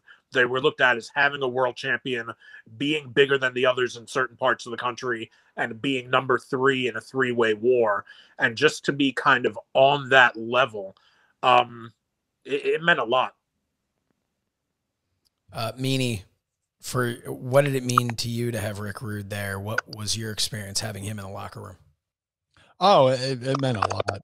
Um, and uh, to uh, add to the fact that uh, th- this was like a bit that WWE eventually went on to uh, steal with the, uh, riot, the people in riot gears with the helmets, and then the guy attacks and reveals himself to be, you know, so and so. That that was a, something WWE eventually went up barring down the line. Uh, to add to the uh, the segment, uh, well, we talked about the reaction of the boys in the back and stuff like that. One of the biggest reactions from the boys in the back was when Brian Lee was walking down to that ring with Rude's robe on and the uh, the the mask with and he he stuck purposely stuck his chin out like Rick uh, like a Rick uh-huh. Rude Rick Rude solid chin. So probably one of the biggest reactions of the of the night, besides the obvious ones, was you know the boys in the back popping for Brian Lee walking down as Rick Rude with the uh, with the robe and everything like that. But you know Rick Rude added uh, definitely you know just like Terry Funk years before added a, a level of credibility to the fact that when he debuted for ECW, he goes, "It's a new year, Shane Douglas." Fans automatically knew who oh, it was. Yeah. They didn't even need to see him; they heard the voice and reacted to the voice.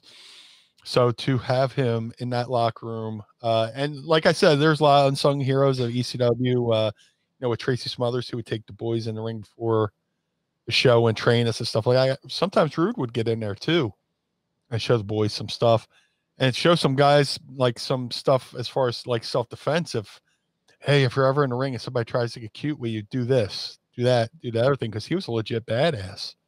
You know, he could do a thing where he just grab you a bear hug, take his chin and put it on your collarbone and have you in tears.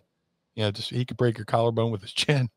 So he would just do like little things like that to help give back to the boys, uh, train the boys, and uh, he gave back to ECW, whether it was in the ring before the show or doing play by play later on down the line with Joey Styles. He, he gave us that uh, that recognition of you know being legit.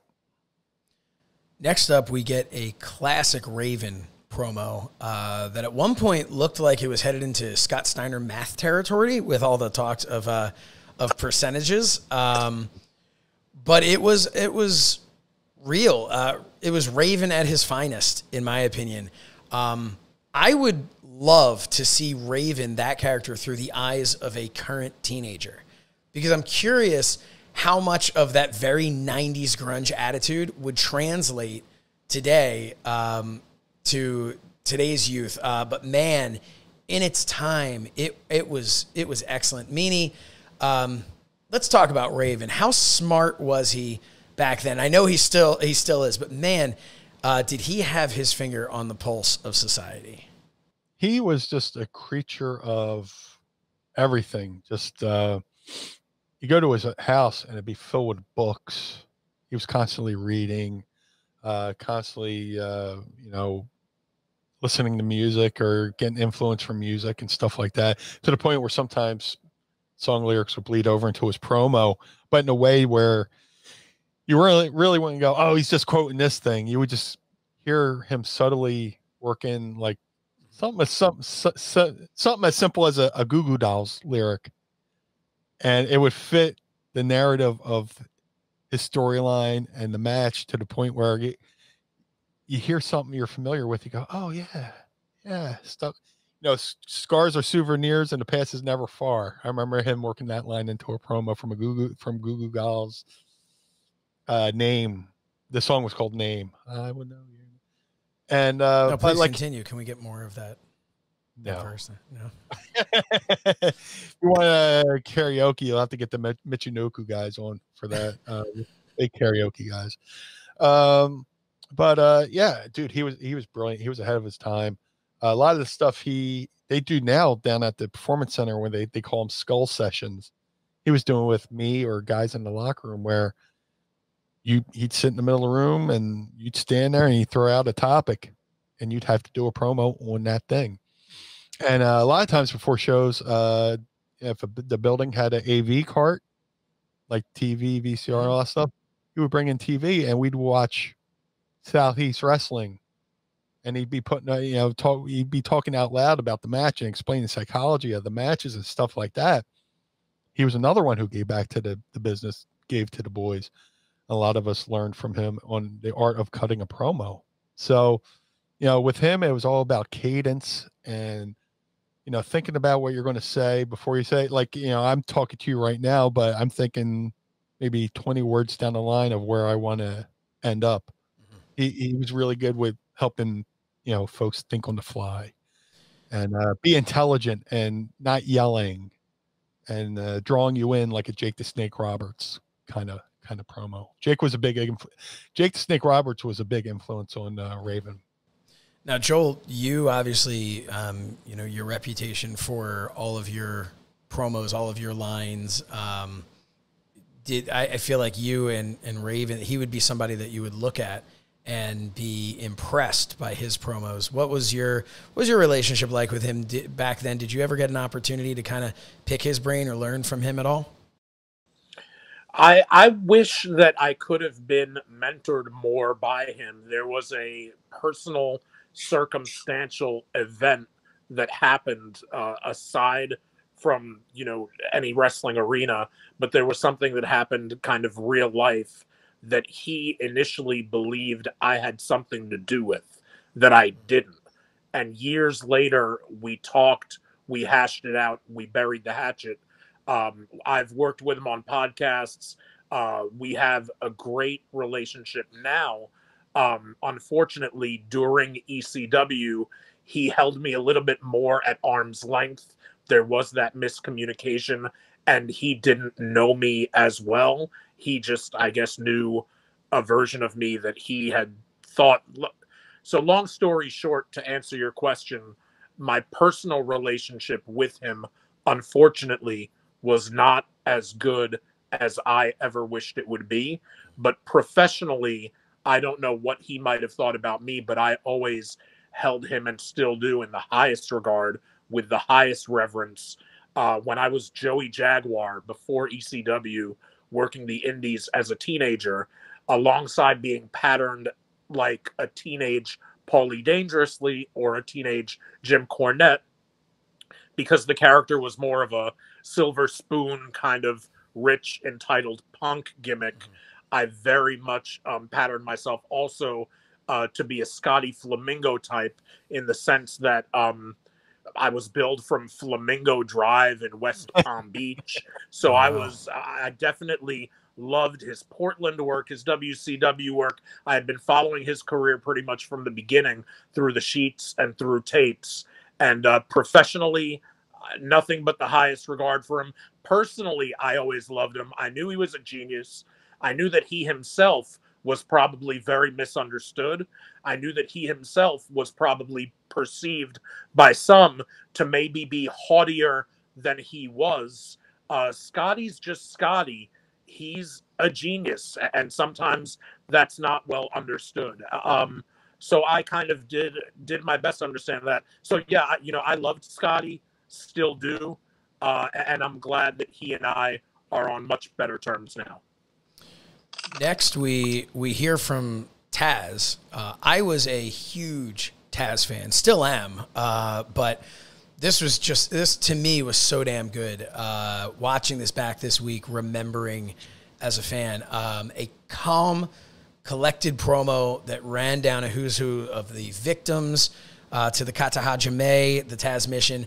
Uh, knowing what I know was about to happen, um, it's almost a bittersweet promo as the team of Taz and Fonzie to me was great. Um, so that promo brings us right into the first of our main events and possibly the biggest draw of the card. Um, I'm curious your thoughts on that. It was billed as the grudge match of the century. Taz comes to the ring surrounded by Team Taz.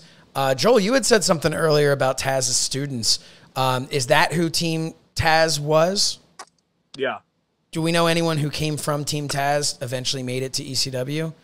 Um, yeah, Team Taz is where we first saw the likes of Danny Doring, Chris Chetti, Roadkill, um, Prodigy Tom Marquez. Meanie, help fill in the list for me if you can.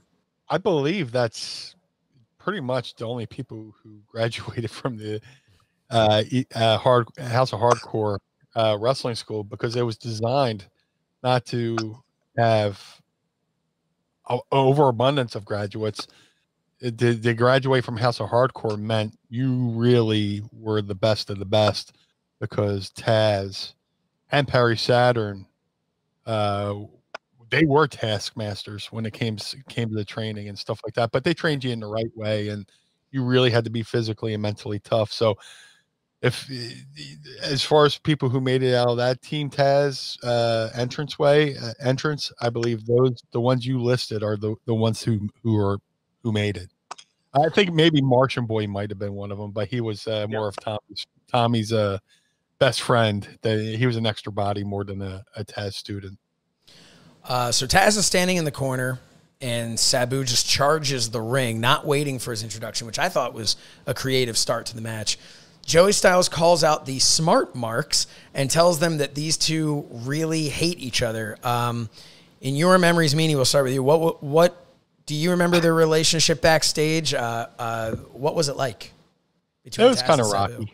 Yeah, it was, kind of, but not in a. It was more of a a rival rivalry way. Uh, I mean, they had issues going back to when Taz was the Tasmaniac. You know, and uh, Taz and Sabu were tag team champions, and then uh, Taz no, I mean uh, Sabu no showed for New Japan, and Taz and Paul Heyman publicly fired Sabu in the ring, and then Sabu comes back, and for a year, Taz calls out Sabu each and every week, and Taz doesn't reply or doesn't get a chance to uh, retort, so to speak. which uh Taz, I mean Sabu wasn't really a fan of. He's like, "What the fuck? I look like a pussy just standing here. He's he's calling me out. Blah, blah, what the fuck?" You know Sabu. and then they had uh, their series of pull aparts uh, leading up to the pay per view, and there was one infamous one where uh, all the boys are pulling the guy uh, Taz and Sabu apart, and you know one would break away, and then they'd pull him back, and the other guy would break away, and they're just you know motherfucking each other, you know, in there, and saying some things I I won't repeat, but uh, yeah, there's a, a bit of a contentiousness between the two, but it had more of a more of a uh, professional uh competitiveness. You know, like two guys would motherfuck each other on a football field, but you know, behind the scenes, you know, they're making money together, so they're they can't hate each other that much, you know. Yep. But uh, you know, uh, yeah, they, they, they, they, there's there's a little bit of tension in the air between those two. Joel, is that what you remember too? Yeah, same thing. Um, they were great rivals. That you know, they formerly they were a tag team together and uh, they shared a lot of the same experiences and there were similarities but there were differences and it was just a very very unique relationship and what was seen on camera between the two of them was kind of very much an art imitating life kind of deal yeah all right, on to the match. Uh, Taz with Bill Alfonso defeated Sabu with the Taz mission, 17 minutes and 48 seconds. Meltzer wrote, Taz dominated early with mat work and viciously cross-faced Sabu a number of times. Meltzer reports that Sabu may have broken his nose and it may have been a planned spot to get over the stiffness of the match, although one live report was that they believe Sabu bladed his nose to get the blood. I need to take a pause right there because uh, the idea that he bladed his nose was so crazy to me that I went and studied the spot. And if you go to the WWE network at the one hour, 39 minute, and 15 second mark, you can actually see where it appears that Sabu cut his freaking nose. Um, does that ex-, I, you know, I don't want to expose the business here, but does that expose the length in which that man will stretch his body for this business, uh, meanie? Doesn't surprise me one bit, uh, considering everything he had worked with leading up to this spot of him gigging his nose. Mm-hmm. Uh, one of my favorite Sabu stories was as a teenager. He was at a high school party. Somebody pulled out a gun and shot, and Sabu wound up getting shot in the face, and uh, leading to you know him to this day still having uh, shrapnel in his face, bullet fragments permanently in his face. I didn't know that. So the moment when uh, Chris Benoit suplexes Sabu, and Sabu lands right on top of his head, breaking his neck. They rush him to the hospital, and they go, uh, "Terry," he goes, "Sabu," because you know, he took that shit serious. You know, him and Al Snow will be on the phone, and you know, Al will go, "Hey, Terry." He goes, "It's Sabu." He's like, "Dude, it's just me and you on the phone." Uh, but like Benoit breaks Sabu's neck, they go, "Terry." He goes, "Sabu." They're like, uh, "Do you know you have bullets in your face?" He goes, I know. I was there when it happened. You know. oh, so the man. man lived his entire life with bullet fragments in his face. He, yeah. he, he wrestled with a broken neck. Uh, he broke both the on a table spot in Japan. Both, and both his what? It cut out for a second there. What did he break? He broke both his hands. Oh, jeez. Broke both hands in Japan on a table spot to where he had to he taped padding almost like boxing gloves so he could continue to work because if you don't work you don't get paid.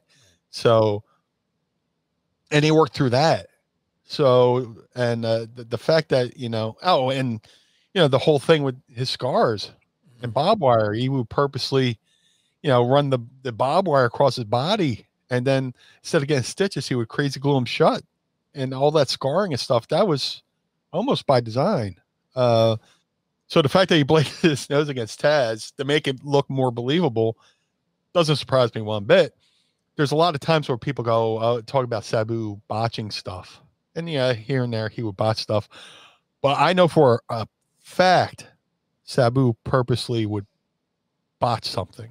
Like he would go for the triple jump moonsault and get on the top rope and act like he lost his balance and jump on his, you know, jump down and then redo. He goes, "Well, fuck, Babe Ruth doesn't hit a home run every time he goes to bat." You know, he wanted things to look. He wanted things to look believable. Well, So- interesting. you- Uh, sometimes he would just purposely do things to where you know the crowd's going, "You fucked up, you fucked up," but he's like, "I worked those fucking marks, and they thought I bombed."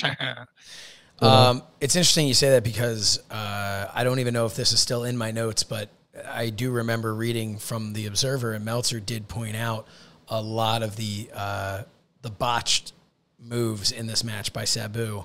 Um, One of them was that triple jump. Uh, well, no, I guess it was where he jumped to the chair, jumped to the ropes, and then to fall back down into the ring, and then did it again. Kind of went A lot of that stuff was by over. design. Yeah. yeah. Uh, Sabu would would go on to do some of his iconic flips and dives, and Meltzer added that Taz did some UFC spots with Sabu, but it didn't seem to register with the crowd. And when he maneuvered into the arm breaker, the crowd didn't react at all, although the fans seemed into the match big time as they were intensely watching. It came off as dead because of lack of noise compared to the wildly enthusiastic crowds at WCW shows. Uh, man, that's not a statement you would have said a couple years later. Um, Right. I'm not saying I take issue with that opinion, but I have to tell you, I would much rather see a match where the crowd is laser focused on the action as opposed to a match where the crowd is staring at their phones, you know, until I guess Pavlov rings the bell and they start chanting fight forever or whatever. Um, but uh, Taz, I digress. Taz hit a, a, a few Taz plexes and locked in the Taz mission for the win. Meltzer reported fans were pretty stunned to see Sabu submit at the end. Uh, perhaps because Sabu, in fact, did not submit and instead was choked out, and the referee stopped the match. But that's neither here nor there. Uh, after the match, Taz got on the mic and said that Sabu uh, took him to the limit and that he respects Sabu. Meltzer would say fans, at least the vocal ones, seemed disappointed in the match and were booing Taz for praising Sabu. Both shook hands and hugged, and both were heavily booed at that point, um, which I saw in the video as well. Meltzer would guess that it was, quote, because they spent more than one year building up how much they hated each other, and then they hugged after the first match, which was a good match to be sure, but to some people, anything short of match of the year would be a disappointment after all the hype.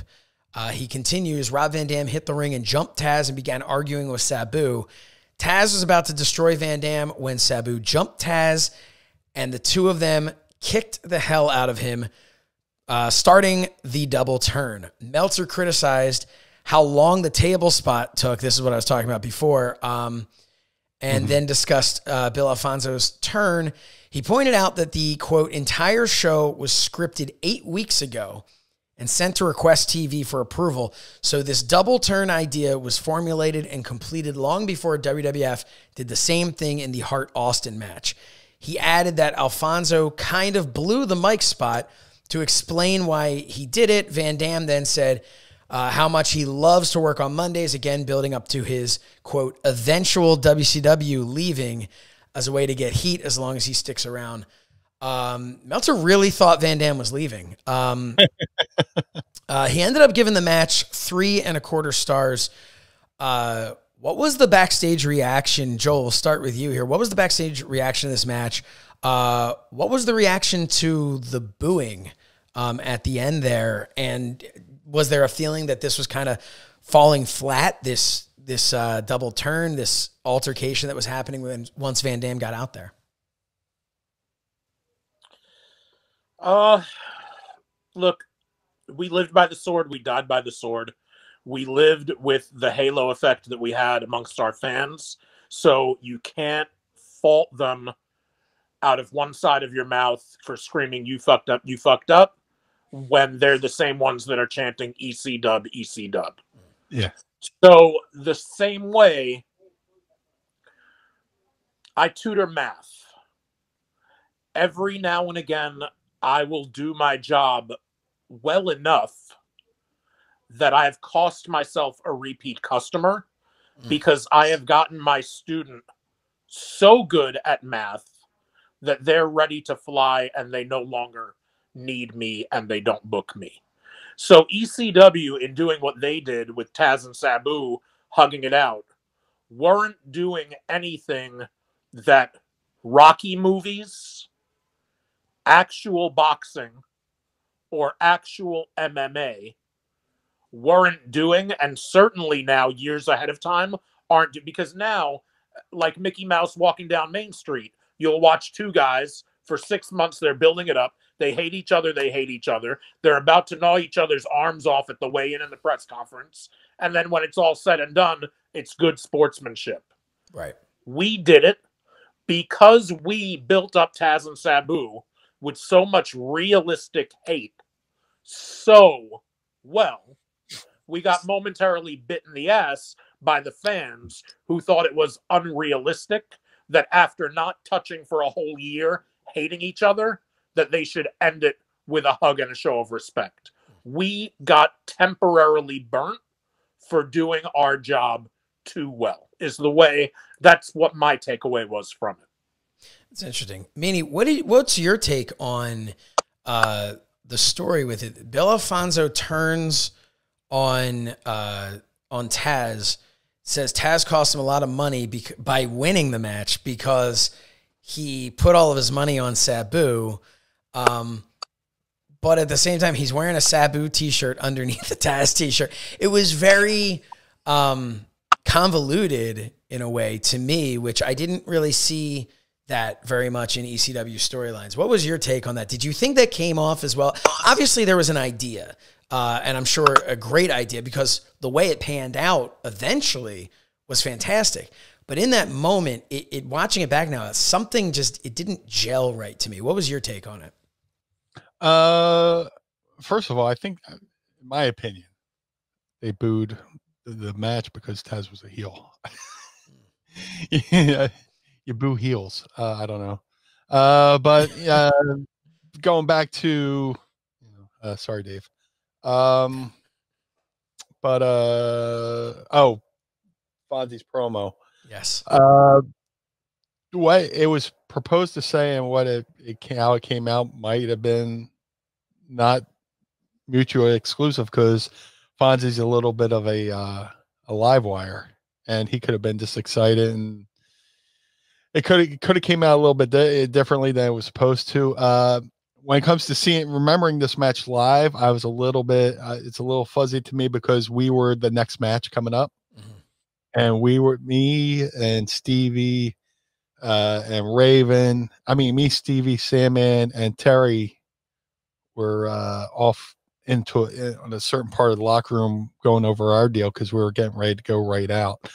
But um, uh, the double switch, um, it was interesting. I think they did. uh, They they went as long as they could with uh, Fonzie being Taz's Don King, so to speak, and maybe uh, in the same vein as Don King turning on Tyson when uh, Tyson served him, didn't serve him as well a- anymore. You know, it was kind of like art imitating life. You know, you know, uh, you know, uh, Te- Bill Fa- Bill Alfonso was Taz's promoter, his Don King, and then the fact that you know, you know, uh, maybe uh, Fonzie didn't believe in Taz enough to uh, to beat Sabu that he actually put money on Sabu to win, and hence, you know, screwed him out the money the way uh, you know everybody was hoping. You know, Ty- you know, Tyson would have been uh, Tyson would have beat Bu- Buster Douglas, and everybody lost money. You know, and, and, and to Tyson's credit, he kind of said he he purposely went into that fight this this, this screw over Don King because he was tired of living that lifestyle.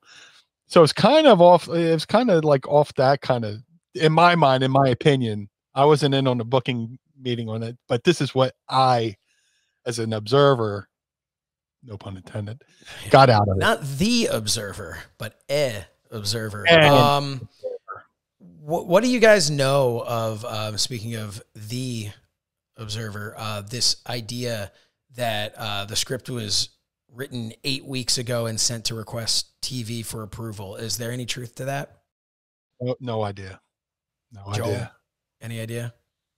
Uh, I don't know much about that. It sounds like it passes the sniff test. Mhm. that the script in general had to be approved in advance. Uh, the eight week time frame would be something I have no idea about. I mean, regardless whether it's true or not, um, the show that went on is not the show. If nothing else, Chris Candido um, being taken out. You know, it's it's obviously anyone who has ever even you know walked past a, a the the door of a group of people who are planning a wrestling show, you know that the show that airs that night is not the show that you had planned even that morning. So Hard subject to change. Yes. Um, but I, yeah, I guess I could, I could get behind the idea of, of that, that they sent at least a rough, you know, sketch of what the show was going to be. Um, And that probably goes back to the fact that they thought they were a shoot like UFC and Right. stuff like that, and they were Well, taking it- the risk. in that regard, if they thought it was a shoot like UFC, I'd, I'd suppose they could have gotten away with just saying, here's our lineup. Because if you're a shoot, what, what storylines are you, are you providing? You know? True, true. Um, next up, Joey Styles is up in the crow's nest, uh, introducing his guest color commentator, Tommy Dreamer, who was accompanied by Beulah, uh, who was met with a "Show Your Tits" chant because I'll be damned if Philly doesn't have class. Uh, it's time. Time for part one of the main event here. Our uh, out first, Big Stevie Cool and the BWO. Meanie, um, what was it like for you walking through the curtain of this match, knowing again it's the ECW arena? That's no, that's that's you know old hat for you. But what was it like knowing that those cameras were broadcasting all over the place? This is the biggest audience I I would imagine you to date had ever performed in front of. Um, Well, I was I was fortunate that because I was a part of the invasion angle on Raw to help true. promote the pay per view. Uh, so I had an inkling of it, which kind of didn't help ease the nerves. uh, you know, it was true. A lot of guys were tense backstage. A lot of people didn't want to fuck up. You know, it's like once they came back through the curtain and they had accomplished their match, they were like, they could take a little breath. But leading up to that point, you know, I I'd cotton mouth. I was blown up just waiting to go through the curtain. But you can tell if you look at that entrance, we were just we had rockets shoved way up our ass, just waiting to come through that curtain because I'm literally I'm doing my entrance, but I'm I'm I'm I'm doing my entrance times a million. Yeah. And uh, it's it's something that even to the point where like if you watch the uh, opening to or in, uh, if, when you watch uh, Rise and Fall ECW, they show our entrance, and I'm just like, "Rah!" you know, just Tasmanian Devil doing my entrance.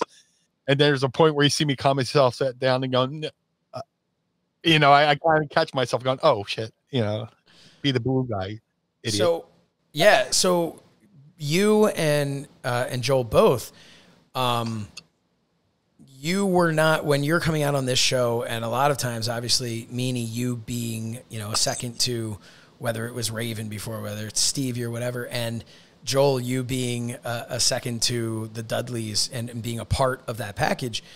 Is there extra stress to you looking at it saying, if I screw something up, this isn't just me. I'm screwing something up. Like Joel, you screw something up.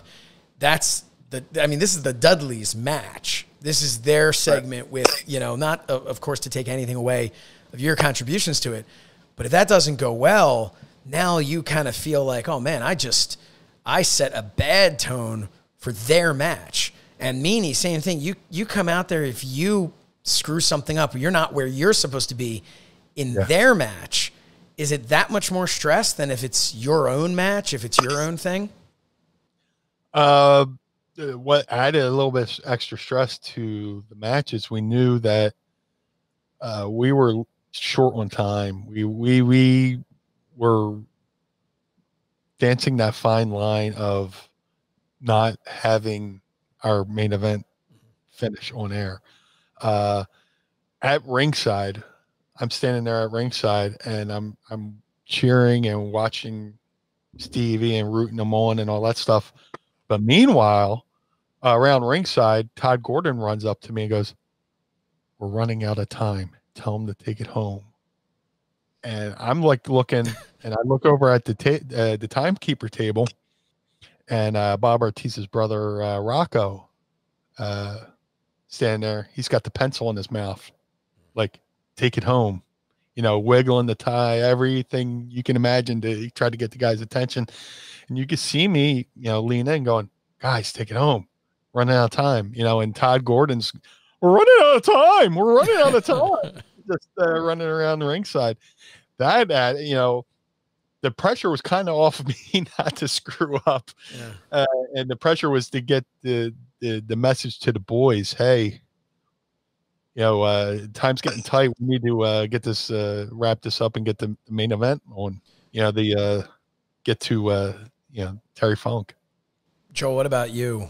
Um, be it this show or just in general, that type of pressure, knowing that you are for the most part, you're, you know, I mean, look, you're introducing the Dudleys, so that's your, uh, that's your role there. Was there extra pressure on that for you? Did you ever say like, I don't want to screw this up for them? Uh, not that I recall you ever screwing any of those up. Um, that I remember with with the lines that you had always impressed me that you were able to remember all of that. Yeah, um, like we talked about before, the introduction wasn't so much lengthy, so the memorization wasn't so much, but we were doing a lot of things new this time that we hadn't done before. Like, um, our intro was a donut. We were live for the first time, going from Devon pitching it to the animation, like the cold open, Mm-hmm. and then that pitching back to me where I'm like, as I was saying before I was so rudely inter So that aspect of it where I had to take a time cue from somebody, that was new. Um, so so there was a lot new, like Meanie said, in early ninety-seven, I think pay-per-view was still running on tape. I don't think it was digital. Regardless, your window was your window. There was no exemption for being live sports. Mm. If you had 9 p.m. to 11 p.m. or actually probably 10:58, that's what you had. They would not keep you on the air if you went long because somebody else was renting the next window and they had to start on time. Sure. you would get fined for every second you went over window. It was that kind of thing. So um so yeah we we didn't want to look unprofessional our first time out where we're trying to run our ending highlight package or even just our copyright and Sure. before we can run it we're getting clipped so th- there was there was a lot that was new to deal with when it came to the aspect of live tv and being on pay-per-view for the first time Uh, next up, the Sandman enters in classic form, uh, which unfortunately, if you watch it on the uh, WWE Network, it's not. It's not what it what it really was. Um, Smoking, drinking, cutting his own forehead by smashing his beer can on it, uh, and then finally Terry Funk enters the arena. Uh, Terry Funk defeated Stevie Richards and the Sandman in an elimination match at 19 minutes and 9 seconds. Funk and Sandman pinned Richards at 15 minutes and 41 seconds with a spike power bomb. Uh, Funk pinned Sandman with a moonsault after Richards super kicked Sandman as he had a trash can over his head. uh, due to pre-match stipulations, Funk earned an immediate title match against ECW World Champion Raven. Uh, before we get to that match, Meltzer had some uh, opinions on the Sandman's entrance, saying Sandman broke two beer cans over his head before the match started, so he was already bloody. Actually, it was three. He offered the third beer to Funk, who wouldn't take it, so he guzzled it and slammed it on his own head. I don't know where the gimmick begins and ends with the Sandman, but he seems to live it totally. And he's going to hurt someone seriously if he goes into the ring loaded doing all these dangerous stunts. Uh, all three of us actually have been in the ring with the Sandman. Uh, Meanie, you I'd have to imagine more than any of us. Uh, what do you guys make of Dave's comments? Uh, it's not totally out of uh, out of bounds, uh, so to speak, because you know, there are you know there have been instances where people you know refuse to uh, work with a hack in his uh, in his uh, his condition, most notably uh, Mick Foley Cactus Jack. had you know complained to Paul about his uh, you know his altered state, so to speak. So for Meltzer to bring that up, I mean, it's a legit concern. But uh, for those of us who had been around him that long, uh, we kind to we kind of grew to accept it, and uh, in some ways, he actually worked a little bit better with a buzz on. A Uh, relaxed. with Sandman sober, I've worked with Sandman drunk, and a little bit better drunk. Yeah, I don't know, uh, but uh, yeah, I mean, uh, there's weight to Dave's comments about him uh, working impaired. Oh, Uh, I'd, but I'd have to imagine. I mean, you know, my, I, of course, somebody working impaired is not. Uh, But rec- uh, to that point, he's probably not the first person to work impaired. And uh, when it comes to Terry Funk, I'm sure Terry Funk's worked his share of people who, you know, through the 60s and 70s are like, oh, so and so's got a load on. Do you Yeah. think? Do you think that um, Meltzer was, as he mentioned himself, he could he couldn't really distinguish uh, the real guy from from the gimmick. Do you It's think not a that maybe- gimmick. I, well, yes. I mean, anyone who spent any time with him, and I spent the least time of him out of the three your of us. brother.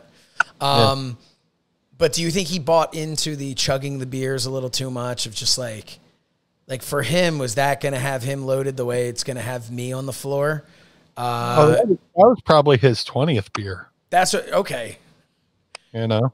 I remember working a show He'd with walk, him. he'd walk into the locker room with a case of beer. That's and, what I was uh, gonna say. I remember working a show with him, and he just man, giant case. I was like, oh, he's brought some for everybody. That's really kind. Nope, that's all him. Um, and uh, and it was all gone before he went Yeah, through the it curtain. wouldn't, be, So, it wouldn't be anything for him to have a couple Long Island ice, iced teas. You know? um, Joel, any any uh, experience working with him? That did you ever have any concern of him being uh, impaired?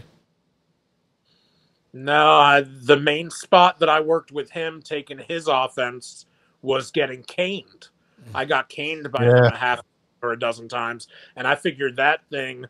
Um, no, um, I don't know if alcohol is a performance enhancing drug when it comes to caning or not. He could have probably got me the same way with that stick he wanted to, whether he was sober or whether he was drunk. So, no effect on me. Hack's another one, another genius.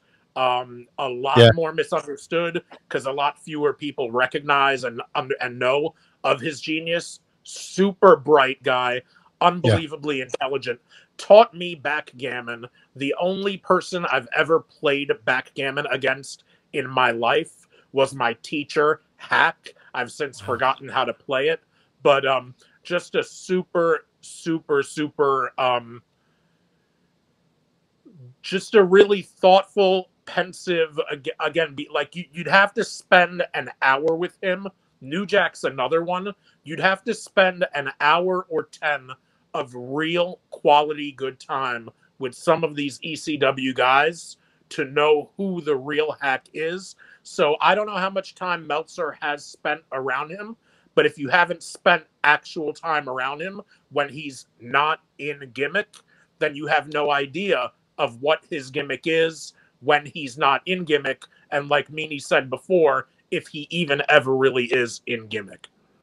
And, uh, and uh, to add some to that, uh, for Hack to let his guard down and let you in a little bit, he's got a kind of he's got a feeling out process sort of of sort where like he could talk to me and Joel in a, in a different way that he could probably talk with somebody else, and we could talk to him. And likewise, me and him, me and Joel could talk to Hack in a certain way. A few others could probably talk to him, and uh, because we have that connection, we have the respect, and we have that experience with each other. Where if somebody on the outside was around them, they'd be like, "Oh, this guy," you know, "Oh, I skeeve him" or whatever, you know. nothing against Dave Meltzer. I, I, I appreciate all of his passion, all of his knowledge, everything he's done for and within the business. And I've been on and off an observer subscribe. And the off isn't because I don't like his product. It's just I've been on and off an observer subscriber since I was 13 or 14 years old in 1989. Having said that, though, just in general, and perhaps more with Hack than the next person, if you treat him like the Sandman, instead of Hack or James Fullington, you're going to get the Sandman. If you ask him Sandman things, you're going to get Sandman answers. It's kind of like what Meanie said. He'll let you in depending on how he feels he should treat you based on how you're treating him and the context and the vibe. Yeah.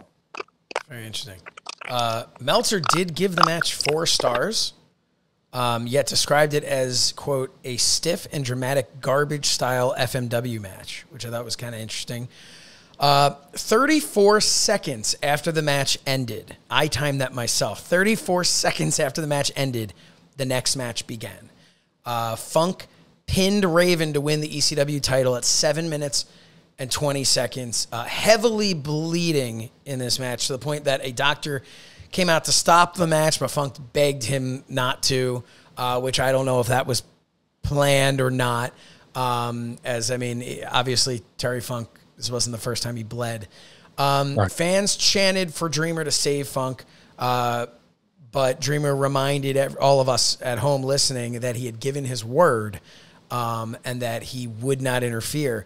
Meltzer noted um, that at one point, quote, a whole bunch of Hell's Angels types showed up and stacked tables near the broadcast position.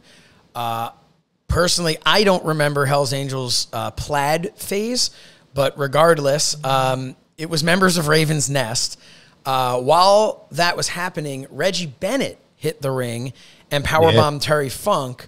Uh, for those who are not familiar, Reggie is a former wrestler for All Japan Women's Wrestling. Um, do either of you have any uh, good Reggie Bennett stories? Uh, none other than the fact that I met her that night. I was a fan of her work. She's a former, also she's a former power lifter. Uh, so I was well aware of her work. Uh, she worked in All Japan. She might have worked in LPWA. Uh, yeah. Other than that, uh, I met her that night. She was awesome. Uh, quick in and out with the company. She, uh, I think that was her only appearance there. Uh, to the uh, the Hell's Angels, uh, one of the I would give a shout to out to like the bigger of the Hell's Angels was a Pennsylvania independent wrestler named T Ranchula who uh, ran shows in uh, Western Pennsylvania out towards Pittsburgh, and uh, he came out and he, they used him. So a little bit when people go uh, watch the cops on Raw, they go, "Oh, which indie worker is that?" So.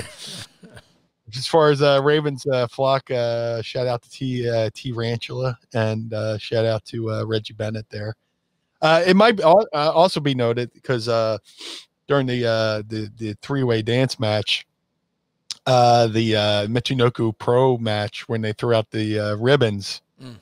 uh, they had to store those under the ring, and then when you know Sandman and all them had to pull the barbed wire from underneath, the ring, it pulled all the ribbons with them, so it kind of took away from the effect of people using real uh barbed wire. And it looked like they were just hitting each other with confetti confetti you know so that, that was another little thing a little thing of of note that i remember from that it just it didn't kill the match but it, No, kind of like oh It, it added some uh, a different type of color to the match. some Uh, flair yeah, uh, Joel, do you have any any interactions with Reggie Bennett? Any memories? I didn't. I introduced myself to her, and same as Meanie, I was familiar with her from uh, being. I knew that she had done some lifting, and I knew that she had also worked in Japan and been in the LPWA. Uh, had watched that stuff on cable growing up, but um, no, no, I just uh, she seemed was nice. awesome. Yeah. Yeah. yeah, she seemed really nice. Uh, I'm not sure whether it was just a one-off or whether it was supposed to go somewhere, and you know, I just don't know. But I, mean, I uh, know but she seemed was she was there the night before uh, at the banquet that honored Terry Funk. Um, so I wonder if maybe it was just a hey, you're here, come do Yeah. something, come get involved. Why not? You know, you're here. Um, so eventually, uh, Raven taunts Dreamer, uh, who is blindsided by a returning Big Dick Dudley. Styles mentions he's out of jail, uh, which is where he actually was from my research. Um, Joel, why was he in jail, and what can you tell us about the man behind the big dick? Um, he was um, he was put in to the Dudleyville penal system, Mm. and uh, and the case is sealed. All right. Uh, anyway, Big Dick, uh, he ended up going through the tables. Uh, Dreamer, hit the ring and DDT'd Raven. Funk only got a two count, but the timekeeper rang the bell by accident. Uh, Funk then pinned Raven with an inside cradle for the actual win. Um, Meltzer remarks that under normal circumstances, this would have been so anticlimactic because of the bell ringer screwing up. But things were at such a frenzy at this point that it was okay. The place went nuts with fans hugging Funk as the show went off the air, three and a quarter stars.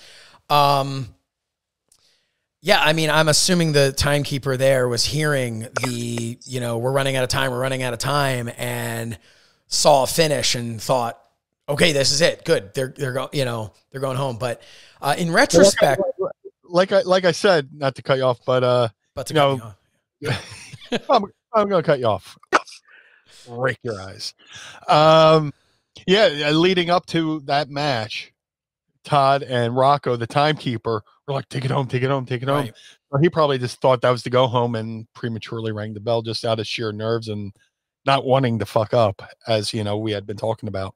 in retrospect, uh, should the triple threat have been earlier in the show? Should a match have been maybe cut even uh, to allow more time for this match? Because it felt so rushed to me, which, you know, it was, by the way, uh, because of the hard out uh, of going off the air. What do you guys think? Do you think that there should have been, instead of immediately following, that it should have kind of been, hey, we're going to time this so we've given ourselves, and this this is tw- you know not you know 2020 vision. I know this is airing in the start of 2021, uh, but looking back, obviously we know what happened.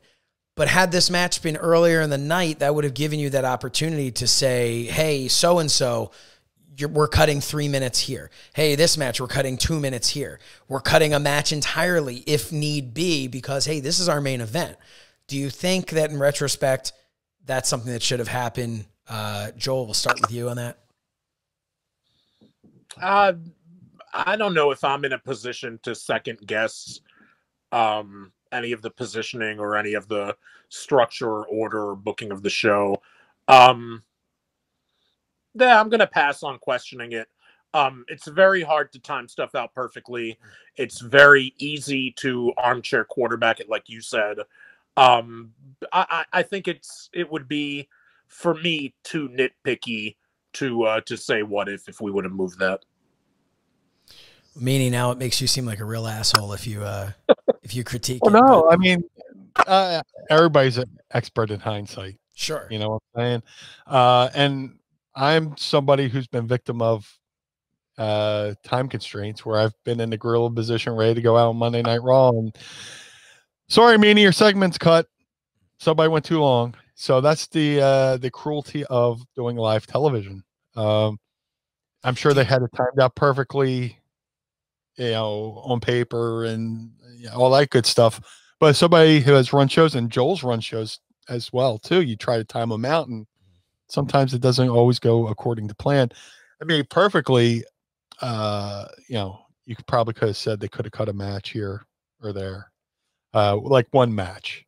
I think, and Uh, that's the thing. I think looking back on it, and again, like I said, this is hindsight. Um, you know, looking back, um, if you were if, if you were to book this type of a show again, to me, if I'm booking it, I I would have learned from this experience and said, well, we need at least a match buffer in there. You know, something we can cut out just in case everything else goes long. Do you think, guys, that it was the lack of experience? Not that, you know, Paul Heyman hadn't been around, but the lack of experience in the live production of the show. Um, because obviously, you know, ECW shows they were they were pretty much highlight reels that were thrown together. They weren't live, the TV. So to do this first show like this, um, do you think it was just just a lack of experience with that? Nothing, you know. I mean, this happens all the time. Yeah, I think it was just growing pains. Yeah. Yeah, and and it's not like it was you know Paulie's first time on TV. He'd been with WCW for years, and Sure. he's done plenty of pay per views. But again, this is his first time laying it out and stuff like that. So, could you cut out a match? Could you cut out a highlight package? Maybe. Uh, I will say I do like the fact that the mat one match bled into the other because to me that added a high heightened sense of urgency. Because you know you're like, oh man, how you know the doctor just came out, and how can Terry keep going? And Terry ends up winning against all these different odds. You know, whereas if there was a buffer in between, that might have given a chance Terry a chance to recuperate and all that stuff. And, Yeah, and I don't, I really don't know anybody who elicits as much uh, reaction from the fans for showing that he's in pain than Terry Funk. Yeah. I mean, God, that guy. Just watching this back, I'm looking. Yeah. at go It's it's masterful. You you just, I mean, it, it definitely helped the fact that he was. it- It's in the age- eye. Yeah, but the age that he was too, because there's kind of that part of you who, I mean, we didn't all realize that he would still be doing these things, you know, 40 years after this. But, you know, we, we, you look at him, you're just like, wow, back then he seemed old, you know? Nowadays it's a little different, but back then he seemed old. You're like, oh my God, this poor old man. You know, we know who he was, but dear Lord, you got to stop this thing. And it was just so beautifully done. Um, I do want to note that, uh, the, as the story goes, and Joel, you mentioned this earlier as you know um, the, these tales have been told, but the story is that 24 seconds after the show went off the air, the generator blew. Um, so even if there wasn't a hard out, uh, that generator was going to make it one. If that's true, Yeah. What do you guys? Um, what do you The remember? Yeah, what do you remember from that? Um, how much truth is there to that whole thing? The generator blew and all that. Uh, you want to go first? Um, uh, just to get it out of the way because it's really just a reiteration of what I said before. Um, I've heard it. You know, I've heard that story, uh, not just in the Observer, but I've heard it. You know, closer to home. I've heard it more in inside parlance. I've just heard it spoken about that uh, that it is quite possible that all power was lost, the generator blew, and that if we wouldn't have gotten off the air, we would have gotten off the air anyway because we made it by the skin of our teeth. That's all I know.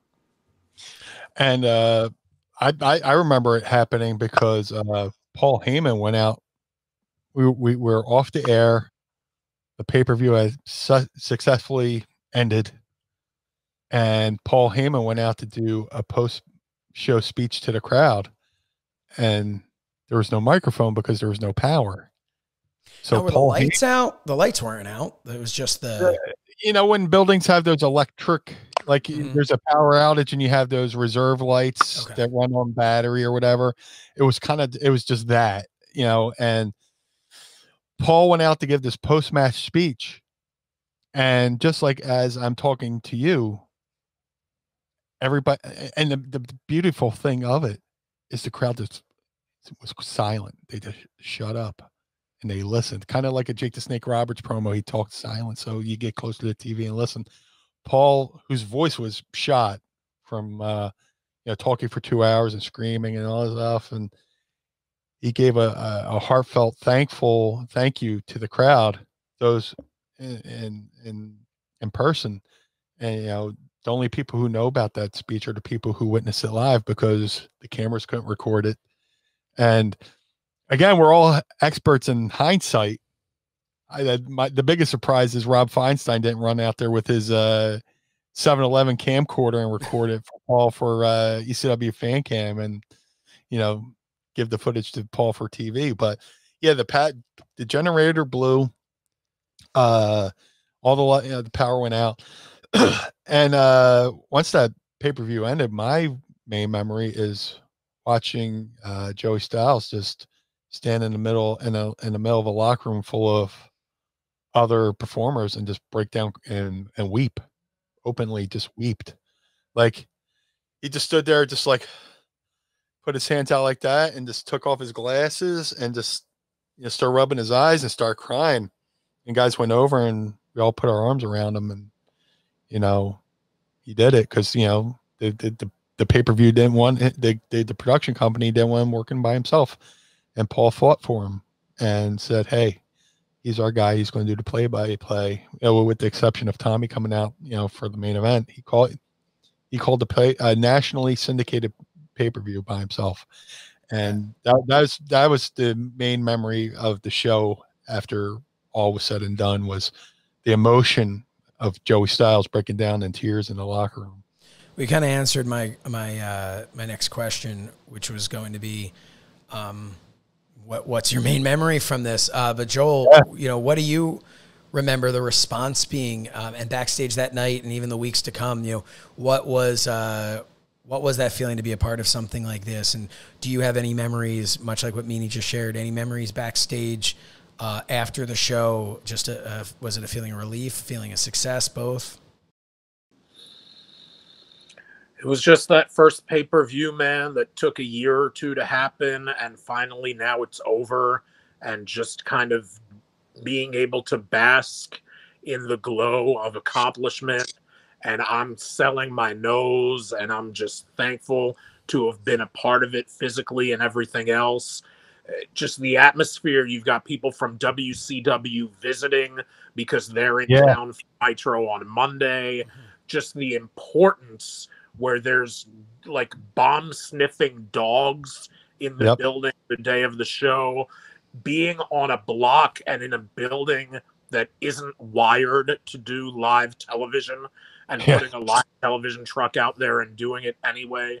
I, I, I don't know, man. It was um, it was really surreal. It, it, really was up until that point for sure. It was absolutely the highlight of my career and maybe the highlight of my life. You know, uh, for fans like myself, I was really lucky to find out that Beyond the Mat was there. And beyond um, the Mat. I was thinking that. I dropped so, that. I was yeah. thinking that as well. So I, I I'm I'm curious for you guys, what uh what are your memories of, of Beyond the Mat being there and then to be um, I can picture Meanie I can picture you being seen backstage and Beyond the Mat. Joel, did you make it uh, to the final cut?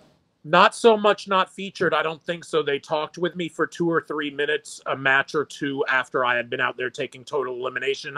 I might have had an ice pack or something on my nose. And I think they were compelled a bit by the fact that I wasn't actually a wrestler, I was a manager, but that I was physically involved and that even the managers get hurt. Right. So we talked for two or three minutes about that kind of thing. I think really when Paul is giving the speech before the show, you can see maybe the back of my head. I'm the first person or one of the first people, maybe, at the end of the speech that kind of claps. So you can see maybe some of that stuff, but I'm certainly not featured in the film, unfortunately. But uh, anybody who hasn't seen it should check it out. It's it's amazing. Oh my god, absolutely. Well, like, yeah, like Joel said, I remember when Paul gave the uh, "This is the dance" speech. Joel was like the uh, me, actually me and Joel were like two of the first shown clapping, and I think there was a moment. Uh, you were you were you were in there when they, they were showing the uh, the behind the stage the boys being around the monitor watching uh you know Terry's match or something like that. But uh, yeah, it, it was pretty cool. It's pretty cool knowing they were there and and filming. Well, it was an amazing, uh, it's an amazing event. Um, if you were a fan like myself, uh, right outside of Philadelphia, growing up, just wanting ECW to be respected for what I loved it for. Um, there was just, you know, I can only imagine if, if I felt vindicated as a fan, how the two of you must have felt uh, and the rest of the locker room must have felt at the end of that night. Um, this has been so much fun for me. This has been a highlight of my career to be able to just sit with the two of you and talk about this. Uh, had you told me when this happened uh, decades ago at this point um, that I'd one day have that opportunity to sit with you and ask these questions, um, man, I I, uh, I, I wouldn't have believed it. Uh, but I'm not the only one who asks questions. I do, of course, have the opportunity to ask questions that came to us from the great people over there at Ad Free Shows. Um, they asked if anybody had questions for us, and I'm going to go through those if you guys uh, are up for it. Sure. Uh, and I apologize in advance to everyone whose name I'm about to butcher. Adam, Si- how would you say S I U D Y? Siudi. There we are. Adam Siudi. Uh, what were the feelings backstage that the pay per view was finally taking place after all of the problems leading up to it? It was just uh it was it was like almost like a fever dream. you know, all the times of uh being promised that we're going to do pay-per-view and it was off, then it was on, and then okay, we're going to do it. But like uh I was taught when I was training with Al Snow, everything's written in pencil because there's an eraser on the end of it. So you took you, you try not to take anything for granted leading up to it. Uh, even le- going to the building the day of, anything could have changed. Sure. You know, uh, anything. You know, it was the carrot. You know, any at any moment somebody could take could have took that carrot away. So uh, went into it. Uh, I don't even remember what we did that night after the pay per view. It's just all. I remember the show and then up to you know everything. I don't remember anything after we left the building. It was just It's funny you it's funny you mention that because Frankie D had a question. How insane was the after show party? Um, but you don't even remember It must have been good. I don't remember. it. Yeah. Joel, any memories? Same here. Same here. I mean, ex- except for the usual, I couldn't tell you what I did that night. I Um, wish. Michael McClanahan uh, asks, "What was the most challenging part of bringing Barely Legal to pay per view? What was the atmosphere like backstage, and can you compare it to the atmosphere backstage at a WWE or WCW pay per view?" So, a couple of questions there. Uh, what was the most challenging part? Of getting Just, uh, I'm getting someone to cover it. I'm assuming getting someone to to air it. I would say is the most challenging part. Yeah, that I think we pretty much answered that. You know, uh, people to trust us to, that we're going to put on a quality product. And like you said, like Joel said earlier, people thought we were like the UFC. Mm. You know, they thought they were going to witness a live execution. You know, so and you know, it didn't also also didn't help that like uh, not the, I'm not getting political, but one of the main proponents of Ultimate Fighting was Senator John McCain, and this was you know, this was on like the cover of Newsweek and all the major papers and stuff like that. And we were lumped in with that. Right. So this hot hot topic issue uh, didn't help us at all. You would think they say all publicity is good publicity, but in this case, it really hurt us. Tommy Hansman Jr. writes, uh, "Why wasn't there another barely legal pay per view?" Which I thought was an interesting question because ECW had its recurring November to Remember, Guilty as Charged. Um, why not, Joel? Do you have any opinion on that? Um, I think it's good that the first one didn't get repeated. I think psychologically, there's something that does make it stand out that it wasn't like Living Dangerously or WrestlePalooza or, of course, November to Remember, that there was only one, the first one, which is also the only one ever at the Right. ECW arena.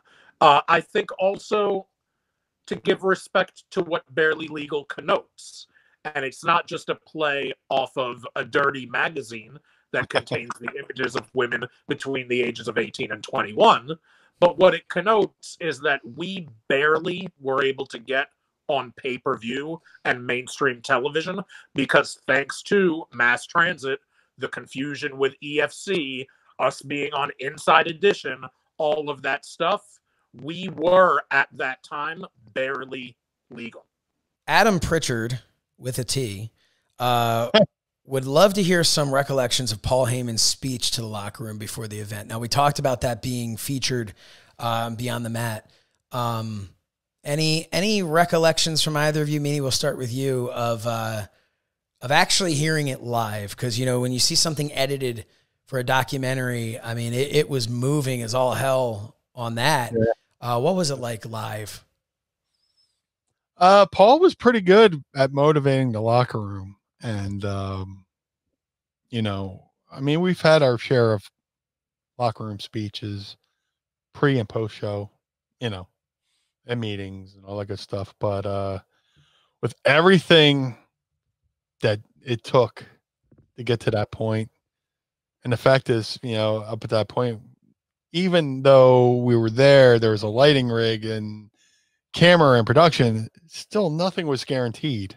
Um, like I said, in wrestling, everything's written in pencil because it's got an eraser on it.